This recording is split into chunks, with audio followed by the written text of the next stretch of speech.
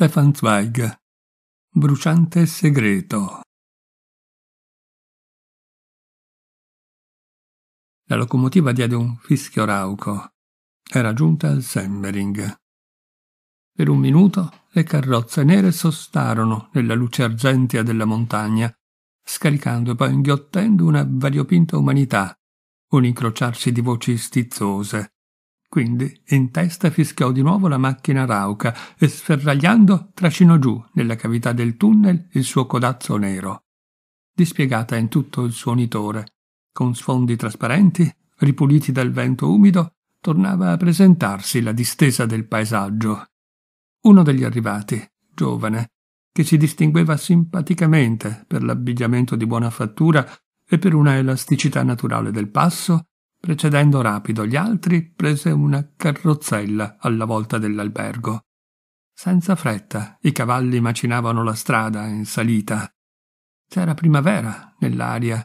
Nel cielo trascorrevano quelle nuvole bianche, inquiete che solo maggio e giugno possiedono.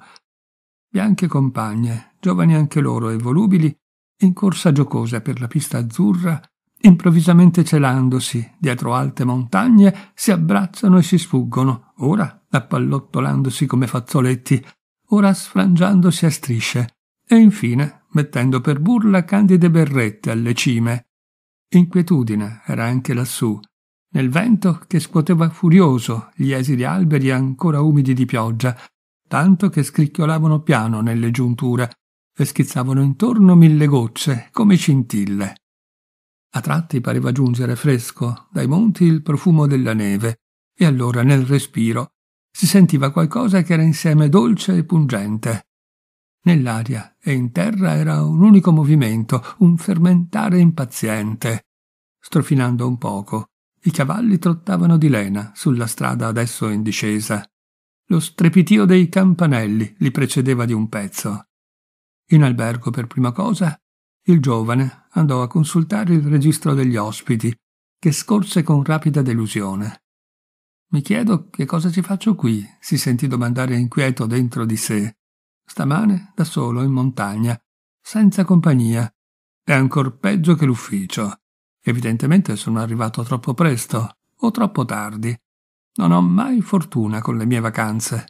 Non c'era neppure un nome conosciuto fra tutta questa gente ci fosse almeno qualche donna, un piccolo flirt, magari anche innocuo, tanto per non trascorrere in modo troppo triste la settimana. Il giovane, barone di non molto illustre aristocrazia burocratica asburgica, funzionario presso il governatorato, si era preso quella piccola vacanza senza alcuna voglia, unicamente perché i suoi colleghi avevano ottenuto una settimana in primavera e lui non voleva regalare la sua all'ufficio. Sebbene non privo di risorse interiori, era un tipo molto socievole e, come tale, ben voluto, ben visto in tutti gli ambienti e perfettamente consapevole della propria incapacità di stare solo. Non aveva alcuna inclinazione a fare i conti con se stesso in solitudine e schivava il più possibile simili situazioni, perché non ci teneva affatto a una più intima dimestichezza con la propria persona. Sapeva d'aver bisogno degli altri come smeriglio per cui daresca ai suoi talenti, al calore e all'euforia del suo cuore, mentre da solo era frigido e inutile a se stesso, come un fiammifero in scatola. S'aggirò contrariato avanti e indietro per la hall deserta, ora sfogliando distrattamente un giornale, ora accennando nella sala della musica un valzer al pianoforte, ma alle dita non riusciva di trovare il ritmo. Alla fine si sedette annoiato, guardando fuori l'oscurità calare lentamente, la nebbia sprigionarsi grigia come vapore dalle abetaie. Ammazzò un'ora così, senza costrutto, e nervosamente. Poi si rifugiò nella sala da pranzo.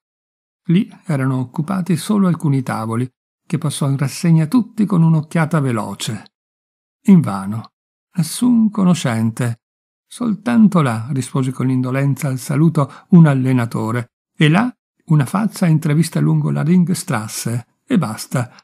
Nessuna donna, nulla che promettesse qualche avventura, sia pur fugace.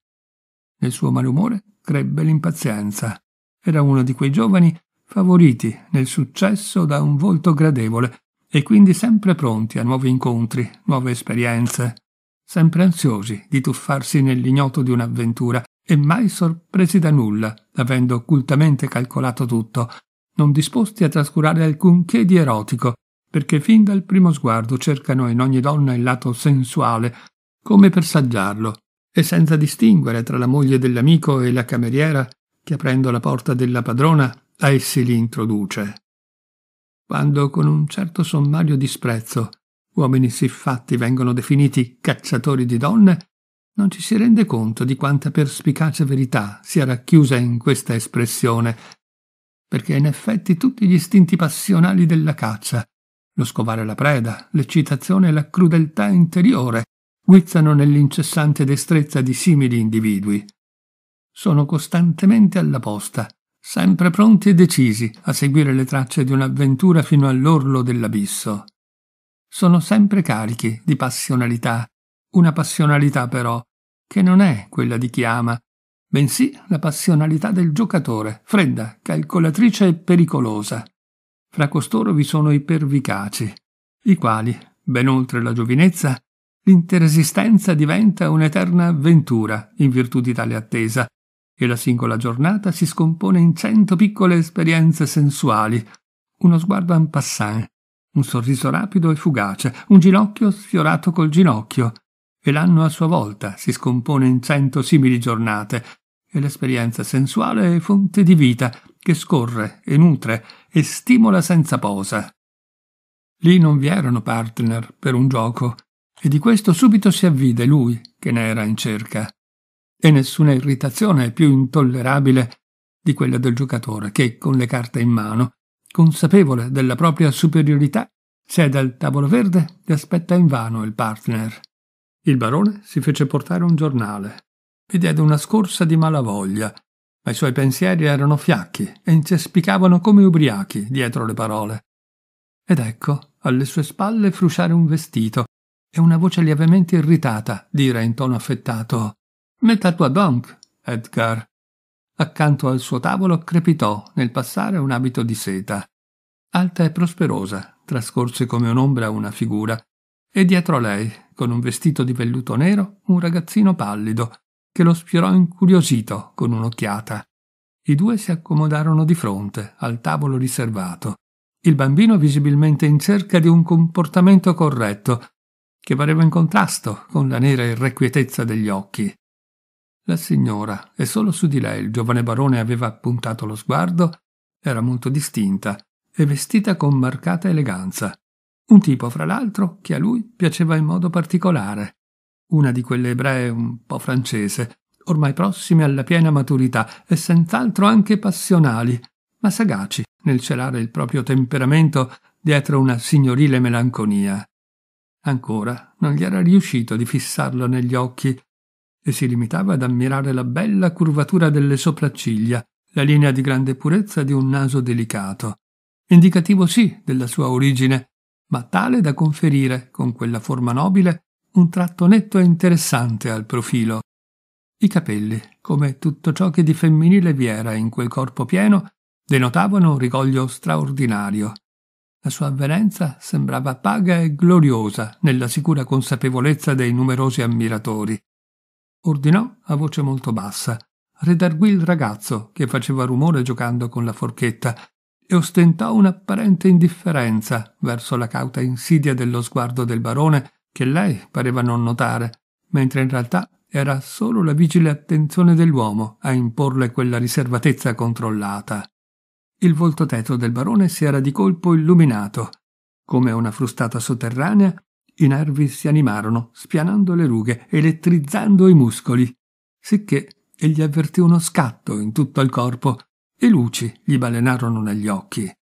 Non dissimile in questo dalle donne, alle quali occorre la presenza di un uomo per sprigionare da sé l'intera loro potenza. Solo uno stimolo dei sensi poté imprimere alla sua energia il massimo vigore. Il cacciatore che era in lui fiutò la preda. Volendo stanarla, cercò lo sguardo di lei, che a volte lo sfiorava con la sfavillante vaghezza dell'incontro casuale, ma mai dava apertamente una risposta chiara. Anche intorno alla bocca gli parve di avvertire a tratti un moto come un accenno di sorriso, ma tutto questo era incerto e proprio quell'incertezza lo eccitava. L'unica cosa che gli pareva promettente era quel continuo scansare il suo sguardo, perché indicava al contempo resistenza e imbarazzo, e poi il modo stranamente compito di conversare con il bambino, mirato con ogni evidenza a uno spettatore. Proprio la marcata ostentazione di questa calma segnalava, lo sentiva bene, un principio di inquietudine. Anche lui era eccitato. Il gioco aveva avuto inizio.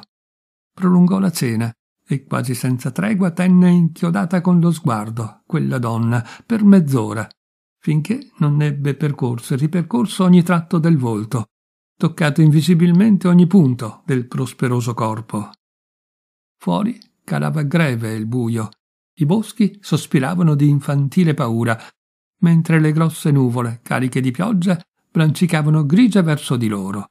Sempre più fosche le ombre penetravano nella sala, sempre più le persone vi parevano compresse dal silenzio.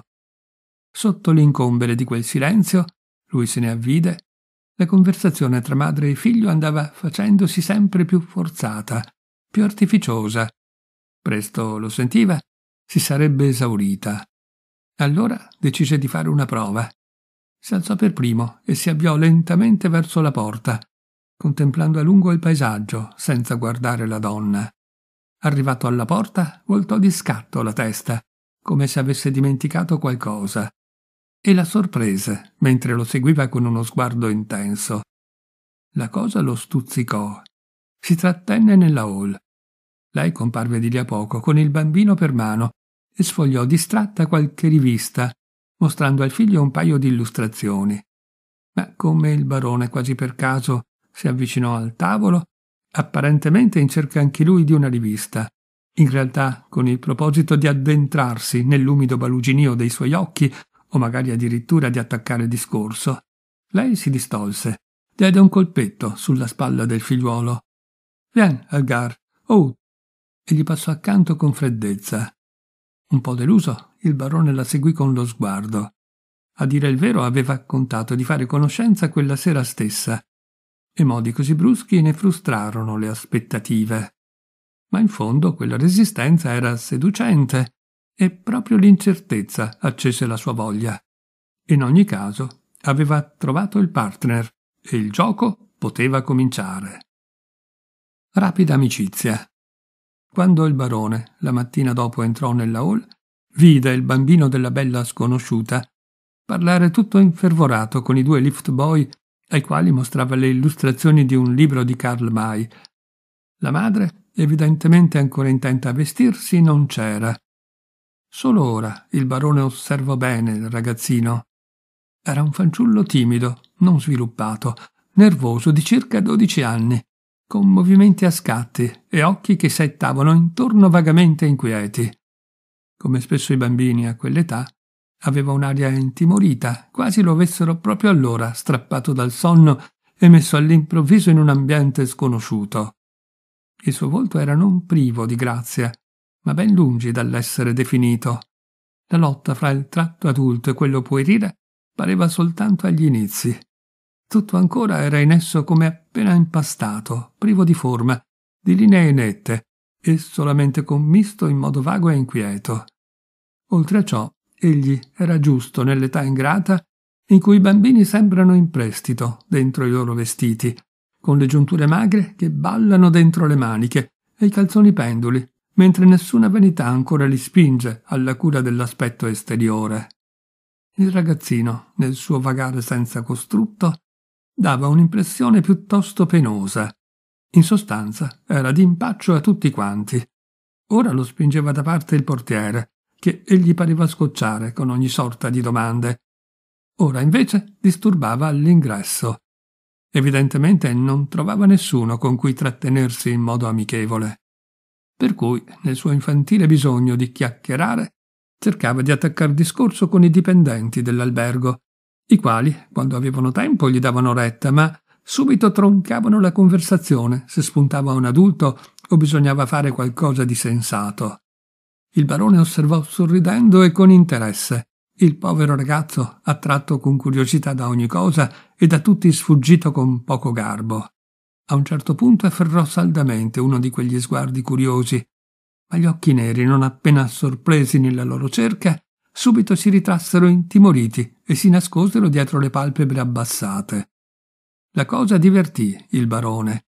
Il ragazzo cominciava a interessarlo ed egli si chiese se quel bambino, che evidentemente era così timido soltanto per paura, non potesse servirgli da tramite più rapido per un approccio.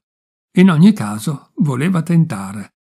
Senza dare nell'occhio seguì il ragazzino, che era uscito un'altra volta davanti all'ingresso e nel suo infantile bisogno di tenerezza accarezzava le froge rosa di un cavallo bianco, finché pure di lì, davvero non aveva fortuna, il cocchiere lo mandò via con toni alquanto bruschi. Offeso e annoiato, tornò a bighellonare con il suo sguardo vuoto e un po' triste. E a quel punto il barone gli rivolse la parola. Allora, giovanotto, ti piace qui? attaccò all'improvviso, cercando di dare un tono quanto più gioviale a quel primo contatto.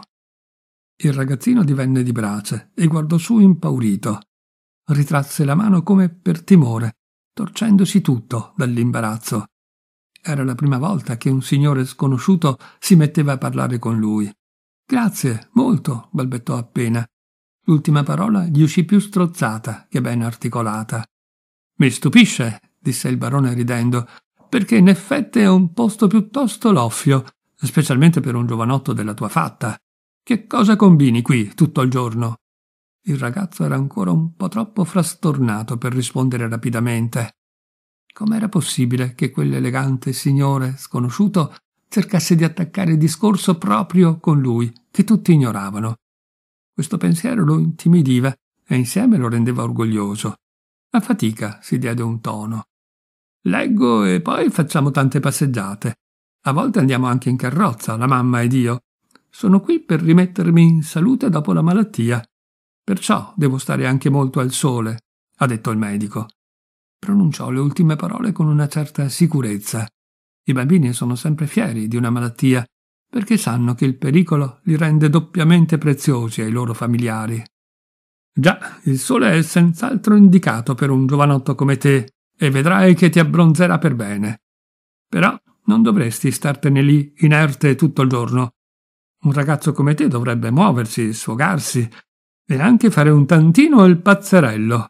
A me pare che tu sia un po' troppo a modo. E poi hai l'aria di un secchione con quel tuo grosso libro sotto il braccio. Se penso che razza di scapestrato ero io alla tua età. Ogni giorno tornavo a casa con i calzoni laceri. Non bisogna proprio essere troppo timorati. Istintivamente il ragazzo dovette sorridere e questo gli tolse la paura. Avrebbe potuto replicare qualcosa, ma gli pareva troppo sfacciato, troppo ardito di fronte a quell'amabile signore sconosciuto che gli parlava in tono tanto affabile. Non era mai stato molto sicuro di sé, anzi, sempre in un certo imbarazzo, per cui ora, dalla gioia e dalla vergogna, entrò nella peggior confusione. Gli sarebbe davvero piaciuto continuare la conversazione, ma non gli veniva in mente nulla.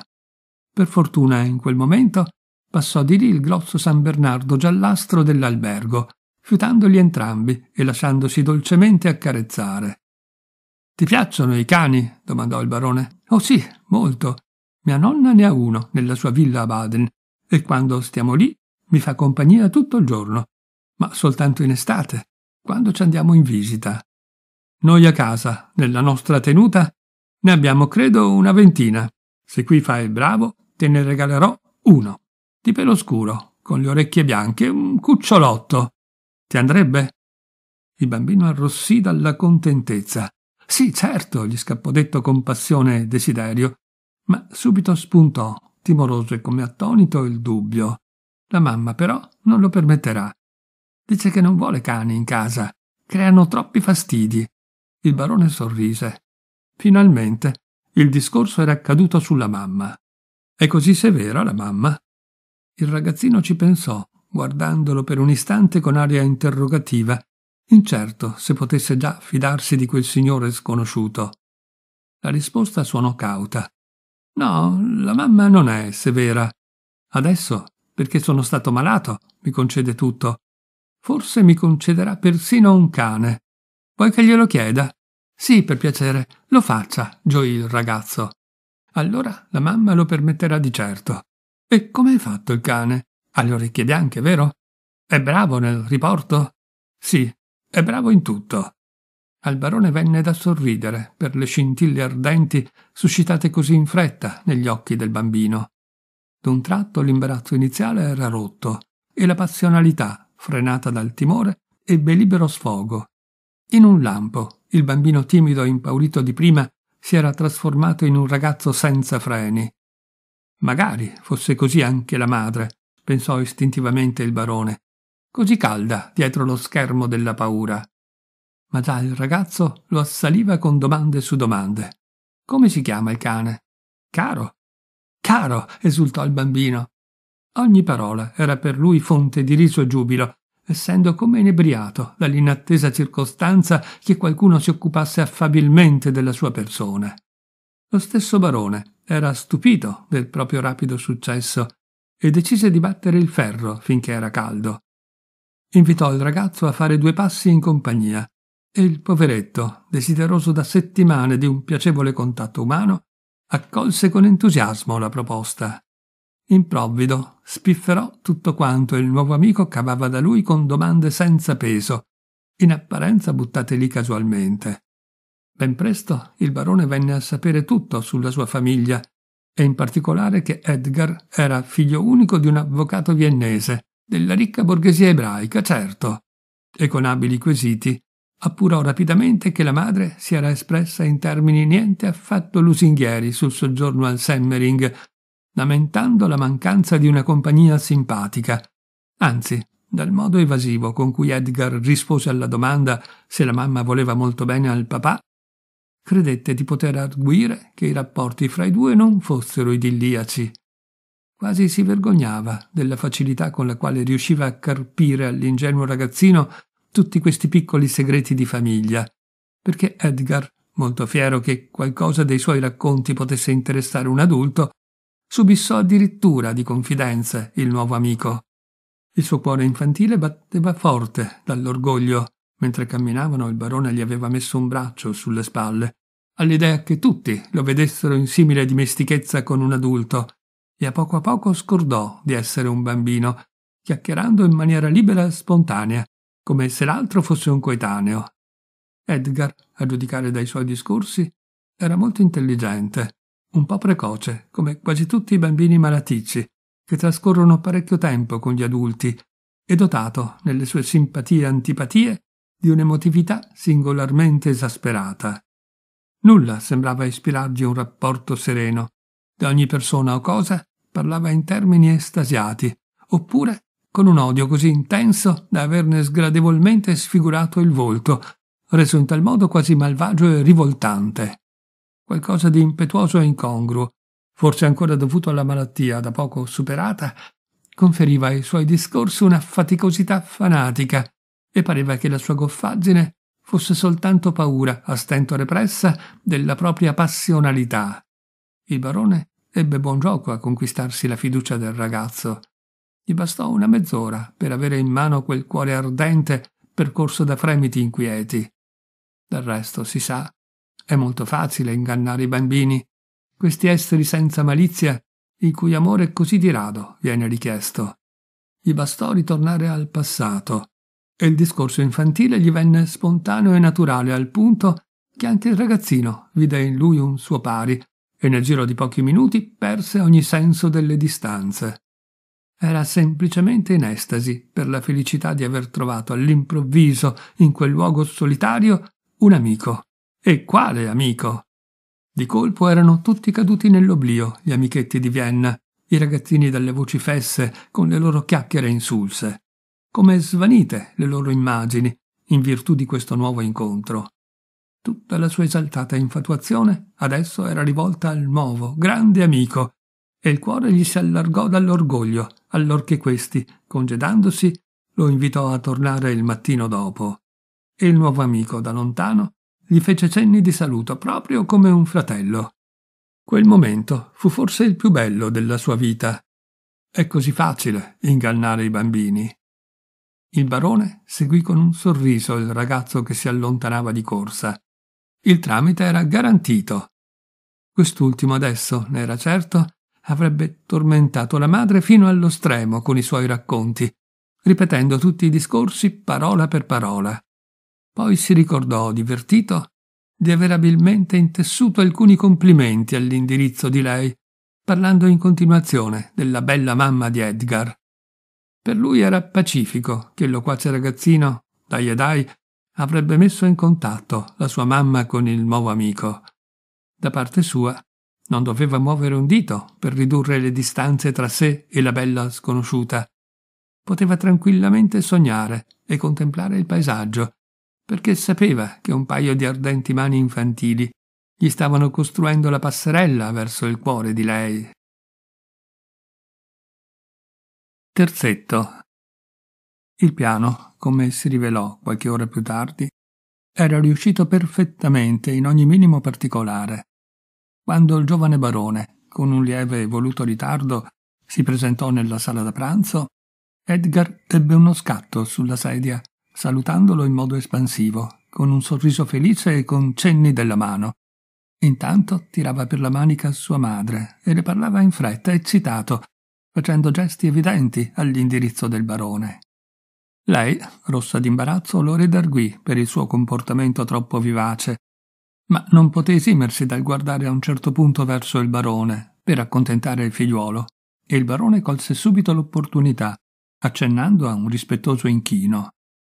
La conoscenza era fatta. Fu costretta a ringraziare, ma da quel momento tenne il volto ancor più chino sul piatto ed evitò accuratamente, durante tutto il pasto, di guardare un'altra volta dalla parte del barone. Non così Edgar, che lumava di continuo verso di lui, e una volta cercò persino di parlargli, cosa alquanto disdicevole, che la madre provvide subito a stroncare in tono energico. Terminata la cena, Edgar si sentì dire che era ora di andare a letto. Un fitto parlottio intercorse tra lui e la mamma, e il risultato fu che gli venne concesso, per le sue appassionate insistenze, di recarsi all'altro tavolo a salutare l'amico. Il barone gli disse qualche parola affettuosa, che tornò ad accendere gli occhi del ragazzo, chiacchierando con lui per un paio di minuti. Poi all'improvviso, con un'abile mossa, alzandosi, si volse verso l'altro tavolo si complimentò con la vicina un po' confusa per il figliuolo intelligente, sveglio. Si compiacque della bella mattinata trascorsa insieme a lui. Edgar stava lì, rosso di gioia e di fierezza, e infine si informò sulla salute del ragazzo, con tali e tante domande specifiche che la madre non poté non rispondere. Avviarono così una conversazione piuttosto lunga, alla quale il ragazzino assistette felice e quasi adorante. Il barone si presentò e gli parve di notare che il suo nome illustre producesse un certo effetto sulla donna vanitosa. In ogni caso, ella si mostrò oltremodo gentile nei suoi confronti, sebbene non concedesse nulla e addirittura si congedasse presto, per via del bambino, aggiunse a mo' di scusa. Quest'ultimo protestò con insistenza di non essere stanco, e volentieri sarebbe rimasto in piedi tutta la notte. Ma già sua madre aveva porto la mano al barone, che rispettosamente la baciò. Quella notte Edgar dormì male. In lui c'era un groviglio di felicità e di infantile disperazione. Durante la giornata, infatti, era successo qualcosa di nuovo nella sua vita. Per la prima volta era intervenuto attivamente nel destino di persone adulte. Già immerso nel dormiveglia, scordò la propria condizione di bambino e all'improvviso gli parve di essere grande. Fino ad allora, vivendo isolato ed essendo di salute cagionevole, aveva avuto pochi amici. Per tutto il suo bisogno di tenerezza non c'era nessuno, all'infuori dei genitori, che poco si curavano di lui, e del personale di servizio. E l'intensità di un amore è sempre misurata in modo errato, se si giudica tale amore in base alla sua causa occasionale e non sulla scorta della tensione che lo precede, di quel vuoto oscuro di disinganno e solitudine che sta dinanzi a tutti i grandi eventi del cuore. Lì era in attesa un sentimento debordante, ancora intatto, e adesso si precipitava a braccia aperte incontro al primo che sembrasse meritarlo. Edgar giaceva nell'oscurità, felice e frastornato. Voleva ridere e gli venne da piangere. Perché amava quella persona come mai aveva amato un amico, il padre e la madre e neppure Dio. Tutta la l'acerba passionalità dei suoi anni si aggrappò all'immagine di quella persona, il cui nome qualche ora prima gli era ignoto. Non di meno era abbastanza avveduto per non provar disagio di fronte all'aspetto inatteso e singolare di quella nuova amicizia. A turbarlo era soprattutto il senso della propria inadeguatezza e nullità. Sono degno di lui, io, ragazzino di dodici anni, che ha davanti a sé ancora gli studi, che la sera viene spedito a letto prima di tutti, si tormentava. Che cosa posso mai rappresentare per lui? Che cosa offrirgli? Proprio questa impossibilità, dolorosamente avvertita, di manifestare in qualche modo il suo sentimento, lo rendeva infelice. Di solito, se un compagno gli era entrato nel cuore, la sua prima iniziativa era dividere con lui i piccoli tesori conservati nello scrittoio, francobolli e pietre, i puerili averi della fanciullezza, ma tutti questi oggetti, che ancora il giorno prima rivestivano per lui una grande importanza e un fascino raro, d'un tratto gli parevano privi di valore, insulsi e spregevoli. Infatti, come poteva offrire cose del genere a questo nuovo amico, al quale non era neppure possibile dare del tu? Doveva trovare il modo, la possibilità di rivelare i propri sentimenti. Sempre più lo angustiava l'essere piccolo, qualcosa di incompiuto, di immaturo, un ragazzino di dodici anni. Né mai finora aveva maledetto con tanto impeto la sua condizione infantile mai desiderato tanto ardentemente di svegliarsi diverso e come sognava d'essere. Grande e forte, un uomo, un adulto al pari degli altri. In pensieri così inquieti si inserirono presto i primi vividi sogni di quel nuovo mondo dell'età virile. Finalmente Edgar si addormentò con un sorriso, ma il ricordo dell'appuntamento per l'indomani ne compromise il sonno. Già alle sette saltò su con il timore di arrivare troppo tardi si vestì in fretta e furia. Diede un saluto alla madre stupefatta, che di solito faticava a tirarlo giù dal letto nella camera di lei, e prima che potesse chiedergli qualcosa si precipitò da basso. Fino alle nove gironzolò impaziente, dimenticando la colazione, preoccupato soltanto di non fare attendere a lungo l'amico per la passeggiata. Alle nove e mezzo, come se nulla fosse, il barone infine comparve. Naturalmente aveva belle scordato l'appuntamento, ma nel vedere il ragazzo volargli incontro smanioso, dovette sorridere di tanta passionalità e si mostrò disposto a onorare la sua promessa. Di nuovo prese sotto braccio il ragazzino raggiante, andando con lui avanti e indietro. Solo evitò, con modi garbati ma fermi, di iniziare subito la passeggiata comune. Sembrava in attesa di qualcosa, Così almeno si poteva arguire dal suo sguardo che lambiva nervoso le porte. D'un tratto si impettì. Era entrata la mamma di Edgar, che ricambiando il saluto si diresse affabilmente verso i due. Sorrise in segno d'approvazione nell'apprendere della passeggiata in progetto che Edgar le aveva taciuto come qualcosa di troppo prezioso, ma si lasciò presto convincere ad essere della partita per le insistenze del barone. Edgar, subito contrariato, si morse le labbra. Che rabbia! Proprio adesso doveva passare di lì. Quella passeggiata era soltanto per lui, e se anche aveva presentato l'amico alla mamma, si era trattato solo di una gentilezza da parte sua. Non per questo, comunque, intendeva dividerlo con lei. Già si manifestava in lui una certa gelosia nel notare l'affabilità del barone nei confronti della madre. Si avviarono così tutti e tre, e la pericolosa sensazione d'essere una persona importante e di improvvisa rilevanza fu ulteriormente alimentata nel bambino dall'insolito interesse che entrambi gli mostravano. Edgar era il tema pressoché esclusivo della conversazione. La madre parlava con inquietudine un po' finta del suo pallore e nervosismo. Il barone minimizzava invece la faccenda con un sorriso dilungandosi in tono elogiativo sui modi simpatici di quello che chiamava il suo amico. Per Edgar fu il momento più bello. Aveva acquisito diritti che mai gli erano stati riconosciuti nel corso dell'infanzia. Poteva interloquire senza essere subito zittito, addirittura esprimere ogni sorta di desideri peregrini, che fino ad allora sarebbero stati accolti in malo modo. Non sorprende dunque che in lui andasse crescendo a dismisura la fallace sensazione di essere un adulto. Ormai, nei suoi sogni ad occhi aperti, l'infanzia era alle spalle, come un vestito troppo stretto che si butta via. A mezzogiorno il barone, accettando l'invito della sempre più affabile madre di Edgar, sedette al loro tavolo. Il vis-à-vis si era trasformato in un à côté. Dalla conoscenza era nata un'amicizia. Un terzetto aveva preso l'abbrivio e le tre voci della donna, dell'uomo e del bambino si accordavano in pura armonia. Attacco. Ora, all'impaziente cacciatore, parve giunto il momento di farsi sotto con la preda. L'atmosfera familiare, il coro a tre voci, in questa faccenda non gli andava a genio. Certo non era spiacevole chiacchierare amabilmente in tre, ma dopo tutto chiacchierare non era il suo obiettivo e sapeva che il lato mondano, con la mascherata del suo gioco di seduzioni, ritarda sempre il contatto erotico tra l'uomo e la donna, togliendo alle parole l'ardore e all'assalto la vampa del fuoco.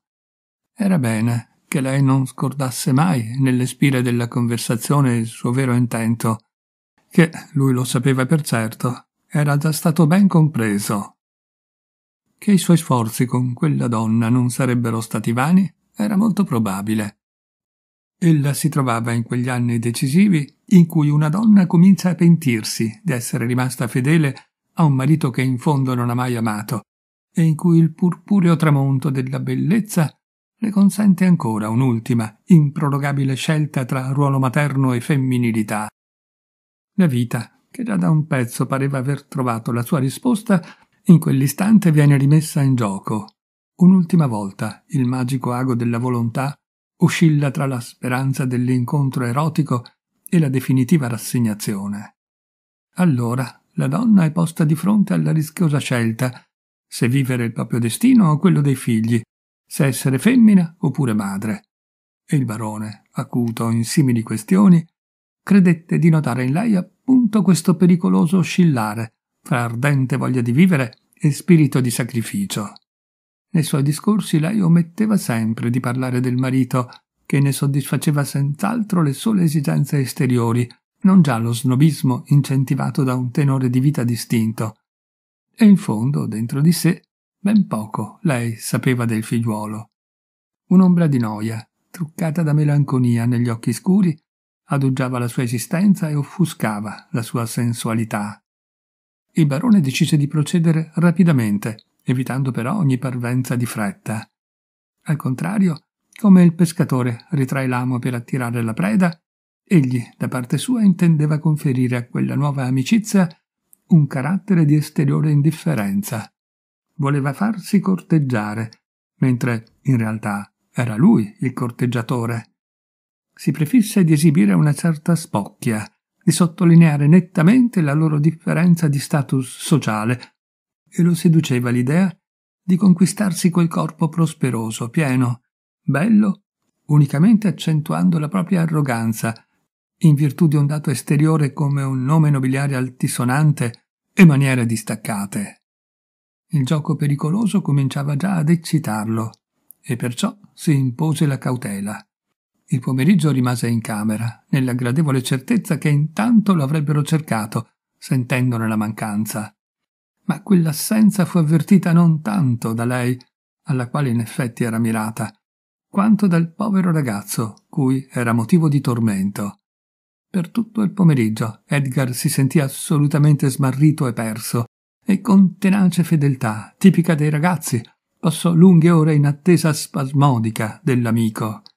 Andarsene o intraprendere da solo qualsiasi cosa gli sarebbe parso uno sfregio alla loro amicizia.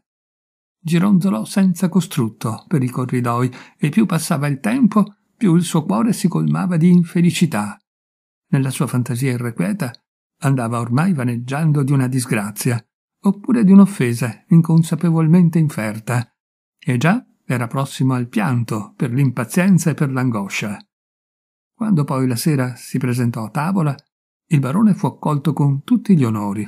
Edgar, senza badare agli ammonimenti della madre e allo stupore degli altri commensali, gli corse incontro, stringendogli di slancio il petto con le braccina scarne. Dov'era? Dov'era stato? esclamò con affanno. L'abbiamo cercata dappertutto. La madre arrossì per l'indesiderato coinvolgimento e disse piuttosto dura Sois sage, Edgar, assieds-toi. Parlava infatti sempre in francese con lui, sebbene questa lingua non le fosse poi tanto familiare e nei discorsi un po' complessi si incagliasse facilmente.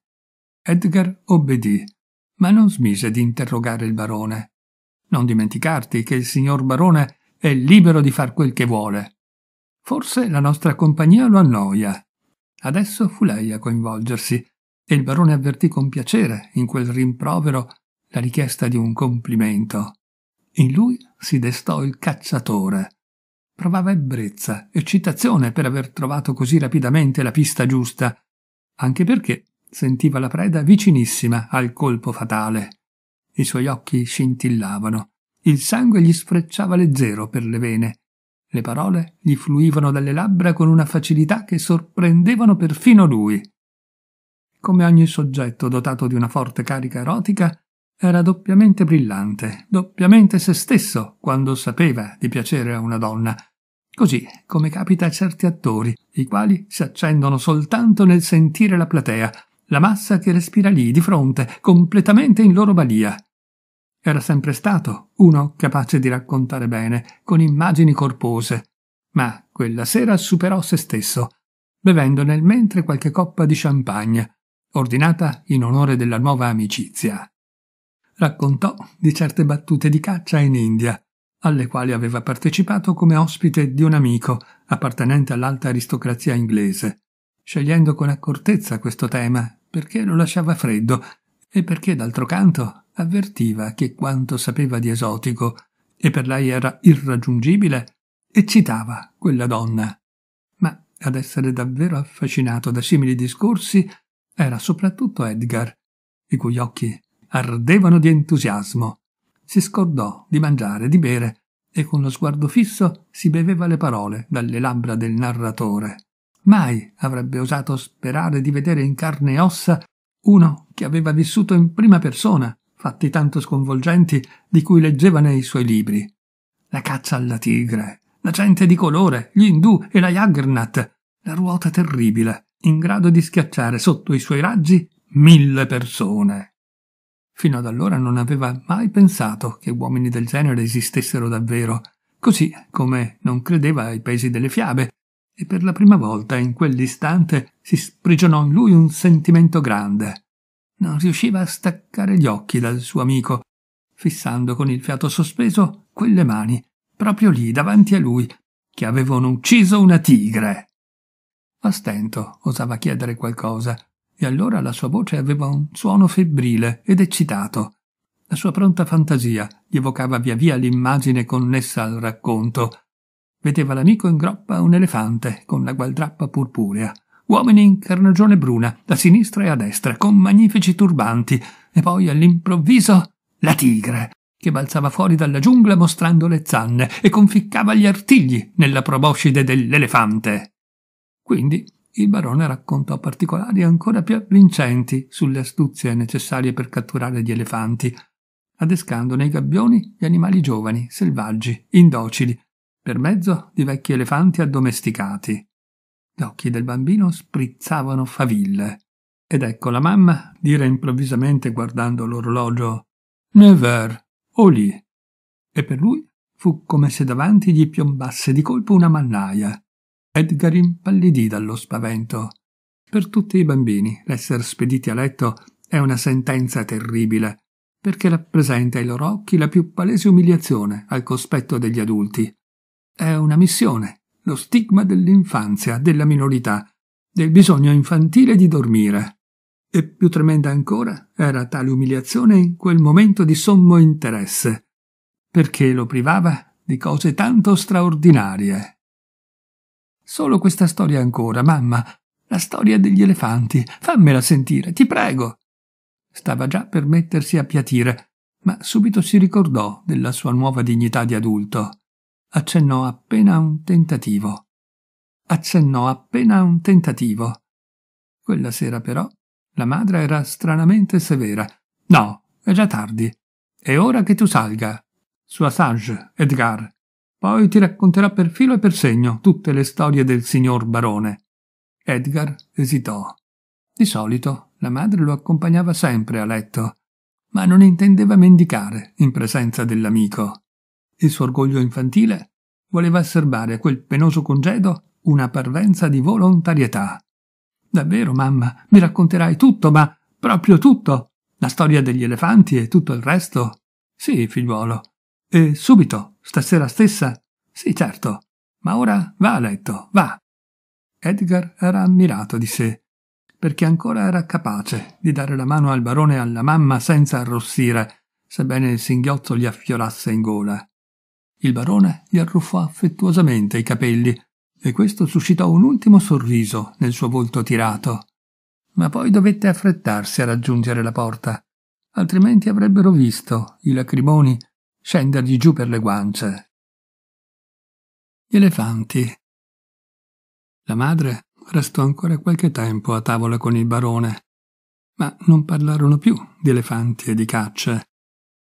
Un che di sensualmente greve, improvvisi soprassalti d'imbarazzo si erano introdotti nei loro discorsi da quando il ragazzino li aveva lasciati. Alla fine si trasferirono nella hall e sedettero in un angolo. Il barone era più in forma che mai, lei stessa leggermente inebriata da un paio di coppe di champagne, per cui la conversazione prese ben presto una piega pericolosa. Il barone non poteva definirsi propriamente bello, era soltanto giovane e aveva un'aria molto virile nel volto brunito, energico, da ragazzo, con i suoi capelli a spazzola, e la incantava per i moti vivaci, al limite della buona creanza. Adesso lo osservava con piacere da vicino e non temeva più il suo sguardo. Ma poco a poco si insinuò nei discorsi di lui un ardire che in qualche modo la turbava, qualcosa come un palpare il suo corpo, un tastare e poi ritrarsi, un'inafferrabile concupiscenza che le fiondava il sangue nelle guance. E poi subito rideva spensierato, con naturalezza, come un bambino, e questo dava a tutte le piccole avance la svagata parvenza di scherzi infantili. A volte lei aveva l'impressione di dover troncare decisamente certe parole di lui, ma, essendo civettuola di natura, da quelle piccole licenziosità si sentiva solo indotta a temporeggiare, e trascinata dal gioco rischioso, alla fine cercò addirittura di imitare l'altro. Lanciò sulle ali degli sguardi piccole promesse, già concedendosi con parole e movimenti, e tollerò persino il suo farsi sempre più dappresso, la vicinanza di quella voce, il cui fiato sentiva a volte simile a un brivido caldo sulle spalle. Come tutti i giocatori, scordarono il tempo e si persero a tal punto nelle spire ardenti della conversazione che soltanto verso mezzanotte ne riemersero di soprassalto, quando nella hall si smorzarono le luci.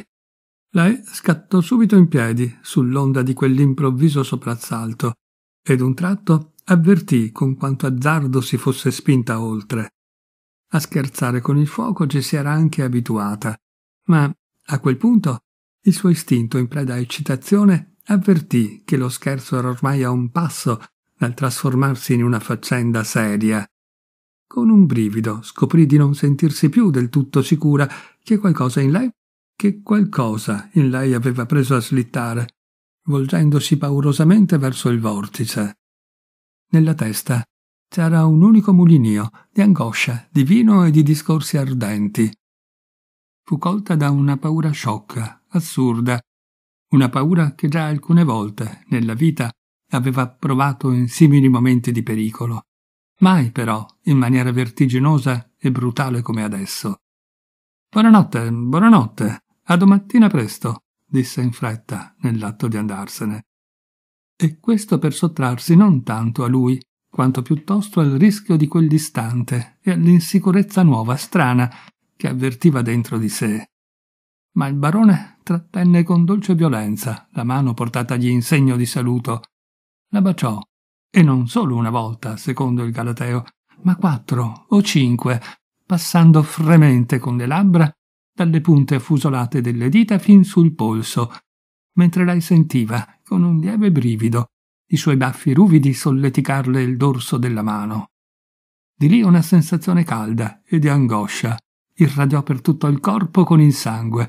Paura eruppe bruciante, martellando minacciosa nelle tempie. La sua testa era rovente. La paura, la paura assurda adesso le attraversava spasmodica il corpo. Ed ella ritrasse rapida la mano. Rimanga ancora, la prego, sussurrò il barone, ma lei già si era allontanata con una goffaggine precipitosa che ne palesava la paura e il turbamento. Adesso vi era, nella donna, l'eccitazione che l'altro voleva. Ella sentiva come tutto in lei fosse stravolto. Bruciante, tremenda, la incalzava la paura che l'uomo alle sue spalle potesse seguirla e afferrarla, ma nello stesso tempo, ancora nella fuga, avvertiva il rammarico che lui non lo facesse. In quell'attimo le sarebbe potuto accadere ciò che da anni inconsciamente desiderava. L'avventura, il cui alito incalzante ella amava con tanta voluttà, sottraendosene sempre all'ultimo minuto. Avventura grande e rischiosa, non il mero flirt effimero, stuzzicante. Ma il barone era troppo orgoglioso per correre dietro all'attimo propizio. Era troppo sicuro della vittoria per far sua di rapina quella donna in un momento di debolezza, nei fumi del vino. Al contrario, il giocatore leale era attratto solamente dalla lotta e dall'offerta di sé fatta in piena coscienza. Tanto non poteva sfuggirgli. Il veleno già le bruciava nelle vene. Ne era certo. In cima alle scale, ella si fermò, premendo la mano sul cuore ansimante. Dovette riprendersi per un attimo. I nervi le cedettero. Un sospiro le si levò dal petto. Metà di sollievo per lo scampato pericolo, metà di rammarico. Ma tutto era confuso e seguitava a turbinarle nel sangue, solo come una vertigine assopita. Con gli occhi semichiusi come ubriaca, andò a tastoni verso la sua porta e provò sollievo nell'afferrare la maniglia fredda. Soltanto allora si sentì al sicuro. Spinse piano la porta nella camera e già un secondo dopo si ritrasse, spaventata. Qualcosa si era mosso lì dentro, proprio in fondo, nell'oscurità. I suoi nervi già provati ebbero un violento scatto e stava per invocare aiuto quando una voce sommessa, assonnata, chiese Sei tu, mamma? Per l'amor del cielo, che cosa ci fai qui? si precipitò verso il divano, dove Edgar giaceva avvolto su se stesso, emergendo appunto dal sonno. Il suo primo pensiero fu che il bambino fosse malato o bisognoso di aiuto, ma Edgar, ancora insonnolito, le disse con lieve rimprovero Ti ho aspettata a lungo e poi mi sono addormentato. E perché mai? Per via degli elefanti. Quali elefanti?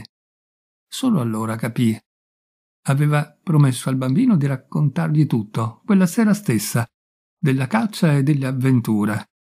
E il figlio, questo ragazzino ingenuo, infantile, si era intrufolato nella stanza di lei, aspettando fiducioso che tornasse, e nel frattempo si era addormentato.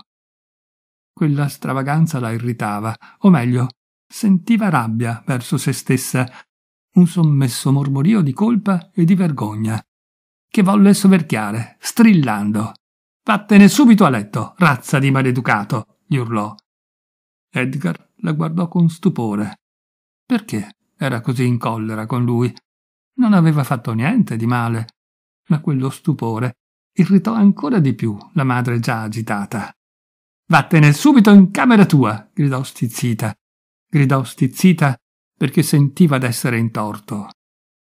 Edgar uscì senza dire una parola era terribilmente stanco e solo in modo vago avvertiva attraverso le nebbie opprimenti del sonno che la madre non aveva mantenuto una promessa e che quello era un trattamento ingiusto. Ma non si ribellò. Tutto in lui era intorpidito dalla stanchezza. E poi molto lo seccava d'essersi addormentato in quella stanza, anziché rimanere sveglio nell'attesa. Proprio come un bambino piccolo, disse indignato a se stesso mentre ripiombava nel sonno. Perché, da quell'ultima giornata, odiava la sua condizione di bambino. Schermaglie. Il barone aveva dormito male. È sempre pericoloso andare a letto dopo un'avventura interrotta. La notte, agitata dal travaglio di sogni sensuali, gli fece presto rimpiangere di non aver colto l'attimo con polso fermo. Quando il mattino dopo arrivò giù, ancora assonnato e di pessimo umore, il ragazzo gli balzò incontro da un nascondiglio, abbracciandolo con entusiasmo, e cominciò a tormentarlo con mille domande. Era felice di riavere per sé, anche solo qualche istante, il suo grande amico, e di non doverlo dividere con la madre. Solo a lui riservasse d'ora in poi i suoi racconti, e non alla mamma, lo pregò accalorato, perché lei, nonostante la promessa, non gli aveva riferito nulla di tutti quei fatti meravigliosi. Il barone, sgradevolmente colpito dall'imboscata e a stento capace di nascondere il proprio malumore, e a stento capace di nascondere il proprio malumore, fu sommerso da cento infantili molestie. In più, alle sue domande, il ragazzo mescolò appassionate attestazioni del proprio amore, felice di essere nuovamente solo con l'amico cercato da un pezzo e atteso fin dal primo mattino. Il barone rispose con mal garbo. Quel bambino sempre alla posta, le sue domande insulse e in generale l'attaccamento passionale non richiesto cominciavano a tediarlo. Era stufo di andare in giro tutto il giorno con un ragazzino di dodici anni, perdendo tempo in vuote ciance. Adesso l'unica cosa che gli importava era battere il ferro finché era caldo e agguantare da solo la madre, il che, proprio per l'indesiderata presenza del bambino, diventava un problema. Per la prima volta sentì un certo disagio di fronte a quell'affettività suscitata in modo improvvido, giacché al momento non vedeva alcuna possibilità di disfarsi dell'amico troppo appiccicoso. Comunque valeva la pena di tentare. Fino alle dieci, ora in cui era d'accordo di vedersi con la madre per la passeggiata, si lasciò sommergere distrattamente dalle chiacchiere appassionate del ragazzo, buttando là ogni tanto qualche parola per non offenderlo, ma intanto sfogliava il giornale. Infine, quando la lancetta era quasi in verticale, come se gli fosse venuto in mente all'improvviso, pregò Edgar di fare un salto all'altro albergo per chiedere se il conte Grundheim, suo padre, fosse già arrivato. L'ingenuo ragazzino, felice di poter essere finalmente utile all'amico in qualche cosa, fiero della propria dignità di araldo, partì di volata e percorse con tale foga la strada che la gente si voltava a guardarlo, stupita. Ma lui ci teneva a mostrare quanto fosse svelto se gli veniva affidata una commissione. Il conte, gli dissero là, non era ancora arrivato, anzi, al momento non aveva neppure fatto prenotare. Sempre di corsa tornò con la notizia, ma nella hall del barone nemmeno l'ombra. Per cui bussò alla porta della sua stanza. Invano. Preoccupato, perlustrò di furia tutte le sale, quella della musica e il caffè, e corse agitato dalla mamma per avere chiarimenti. Ma anche lei era sparita. Il portiere, cui alla fine si rivolse al colmo della disperazione, gli disse, con sua enorme sorpresa, che i due se n'erano andati, insieme, qualche minuto prima. Edgar attese pazientemente. Nel suo candore non sospettava nulla di male. Tanto non potevano assentarsi molto, ne era certo, perché al barone serviva la risposta. Ma il tempo dilatava impietoso le sue ore, e in lui cominciò a farsi strada l'inquietudine. In effetti, da quando quell'estraneo seducente era entrato nella sua piccola esistenza ingenua, tutto il giorno il ragazzino era teso, affannato, confuso. in un organismo così sensibile qual è quello dei bambini, ogni passione imprime le sue tracce come nella cera tenera. In lui tornò a manifestarsi il tremito nervoso delle palpebre, ad accentuarsi il pallore del volto. Edgar seguitò ad aspettare, dapprima con pazienza, poi in preda a una forte agitazione e alla fine prossimo al pianto. Ma continuava a non nutrire sospetti. La sua cieca fiducia nel meraviglioso amico lo induceva a supporre un malinteso e lo tormentava il segreto timore di non aver magari equivocato l'incarico ricevuto. Strano però che ora, finalmente ritornati, seguitassero i loro amabili conversari senza mostrare alcuna sorpresa. Pareva che non avessero avvertito granché la sua mancanza. Ti siamo andati incontro sperando di trovarti per strada, Edi, disse il barone senza informarsi sull'esito del suo incarico. E quando il ragazzo, per l'angoscia che l'avessero magari cercato invano, si premurò di assicurare che lui aveva percorso direttamente la strada alta e volle sapere quale direzione avessero preso loro. La mamma troncò in modo brusco il discorso. Va bene, va bene, non è il caso che i bambini parlino tanto. Edgar divenne rosso dalla rabbia. Era già la seconda volta che lei tentava con vile bassezza di screditarlo di fronte al suo amico. Perché faceva questo? Perché cercava sempre di farlo passare per bambino mentre lui, ne era convinto, non era più tale? Evidentemente lei gli invidiava l'amico e mirava a trarlo dalla sua parte. Già, e certo era stata lei a portare di proposito il barone per un'altra strada. Ma lui non era disposto a farsi maltrattare dalla madre, se ne sarebbe accorta. Le avrebbe tenuto testa. E come? Edgar decise di non rivolgerle quel giorno la parola a tavola, di parlare soltanto con il suo amico. Ma per lui fu dura. Accadde infatti quel che meno si aspettava. Nessuno badò alla sua ripicca. Anzi, parevano proprio non accorgersi di lui, che pure il giorno prima era il centro del loro sodalizio. Parlavano come se non ci fosse, ridendo e scherzando tra loro, quasi che lui fosse sprofondato sotto il tavolo. Il sangue gli montò alle guance. Nella gola aveva un groppo che gli mozzava il fiato.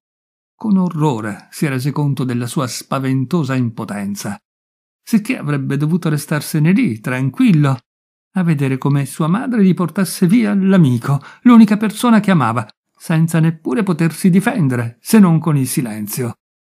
Forse doveva saltar su e pestare all'improvviso i pugni sul tavolo, soltanto perché lo notassero. Ma cercò di controllarsi.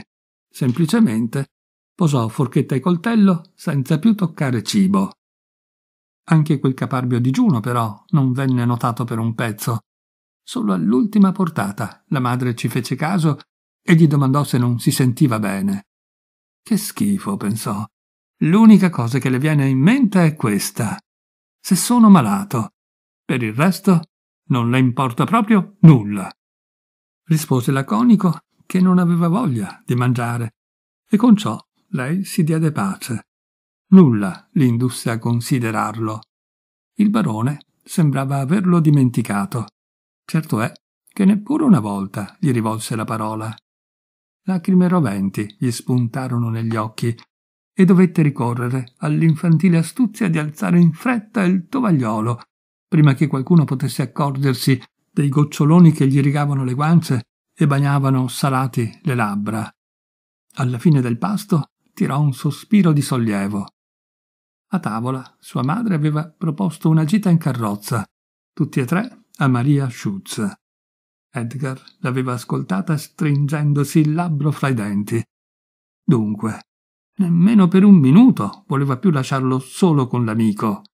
Ma il suo odio montò furibondo soltanto quando lei, alzandosi, gli disse Edgar, finirai per scordare tutto della scuola. Dovresti rimanere qui per una volta e ripassare un poco. Di nuovo egli contrasse il suo piccolo pugno. Lei cercava sempre di umiliarlo di fronte all'amico, ricordandogli continuamente, in pubblico, che era ancora un bambino, uno scolaretto appena tollerato in mezzo agli adulti. ma stavolta l'intenzione gli parve troppo scoperta. Non rispose per nulla, limitandosi a girare di colpo sui tacchi. Beh, siamo di nuovo offesi, disse lei sorridendo, e quindi al barone. Sarebbe proprio così terribile se per una volta lavorasse un'oretta? Al che il barone, e nel cuore del bambino, qualcosa si fece di ghiaccio e di pietra. Il barone, che pure si dichiarava suo amico, che gli aveva dato del secchione, disse Beh, un'oretta o due non potrebbe certo guastare. Era forse un complotto. I due si erano davvero alleati contro di lui. Negli occhi del ragazzo avvampò la rabbia. Il mio papà ha proibito che io studi qui. Il papà vuole che qui mi rimetta in salute, disse con foga e con tutto l'orgoglio della propria malattia, aggrappandosi disperatamente alla parola, all'autorità del padre. Pronunciò la frase come una minaccia. E caso strano, quelle parole parvero in effetti suscitare nei due un certo disagio. La madre guardò altrove, limitandosi a tamburellare nervosamente sul tavolo con le dita. Un silenzio imbarazzato si instaurò fra loro. Come vuoi, Edi, disse alla fine il barone con un sorriso inautentico. Non tocca a me fare l'esame. In tutti quanti sono già stato bocciato. Ma Edgar non sorrise per la battuta. Lo fissò soltanto con uno sguardo indagatore, penetrante di passione, quasi volesse scrutargli dentro l'anima. Che cosa stava succedendo? Qualcosa era cambiato fra loro e il ragazzino non sapeva perché. I suoi occhi vagavano intorno inquieti. Il suo cuore era percosso da un piccolo, frenetico martello. Il primo sospetto. Che cosa li ha trasformati in quel modo? si chiedeva il bambino, seduto di fronte a loro nella carrozza che intanto procedeva. Perché con me non si comportano più come prima? Perché la mamma evita sempre il mio sguardo quando lo volgo su di lei? Perché in mia presenza lui cerca sempre di fare dello spirito, di atteggiarsi a buffone? Tutti e due non parlano più con me come ieri o ieri l'altro. A volte mi pare quasi che ab- a volte mi pare quasi che abbiano cambiato faccia.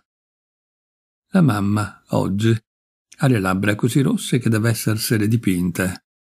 Questo in lei non l'ho mai visto. E lui continua ad aggrottare la fronte come se fosse offeso. Mica ho fatto loro niente, né detto una parola che li potesse urtare. No, non posso essere io la causa. Loro stessi sono diversi l'uno con l'altra rispetto a prima. È come se avessero commesso qualcosa che non osano confessarsi. Non discorrono più come ieri e nemmeno ridono.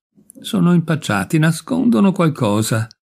Tra loro c'è qualche segreto che non vogliono rivelarmi. Un segreto che io debbo scoprire ad ogni costo. Veramente non mi è nuovo. Deve essere lo stesso di fronte al quale mi chiudono sempre la porta in faccia, quello di cui parlano i libri e i melodrammi, quando gli uomini e le donne cantano con le braccia aperte gli uni davanti alle altre e si stringono e poi si respingono. Deve essere più o meno la medesima faccenda della mia insegnante francese, che non andava d'accordo con papà e poi fu licenziata.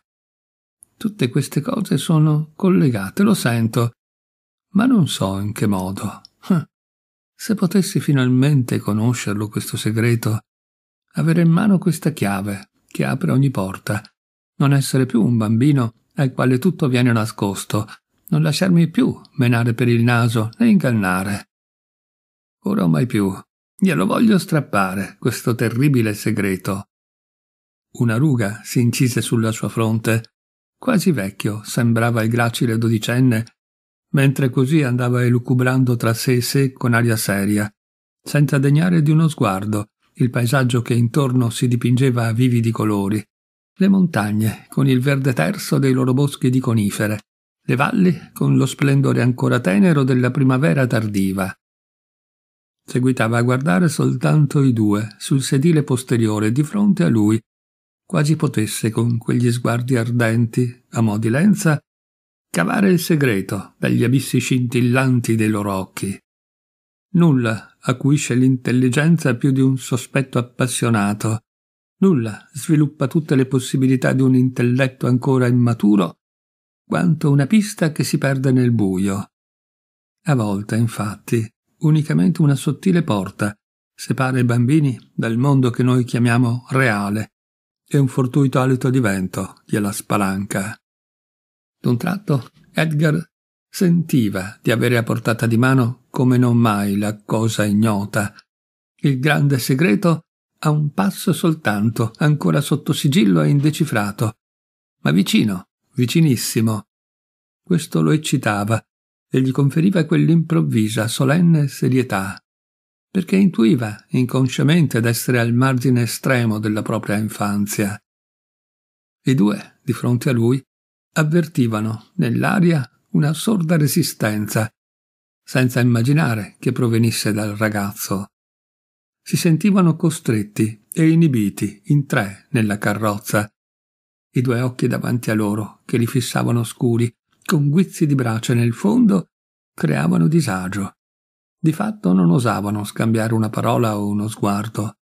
Non riuscivano più a ritrovare la conversazione spigliata, mondana di prima, già troppo irretiti nel tono delle calde intimità, di quelle parole pericolose in cui vibra la carezzevole lascivia di furtivi palpamenti.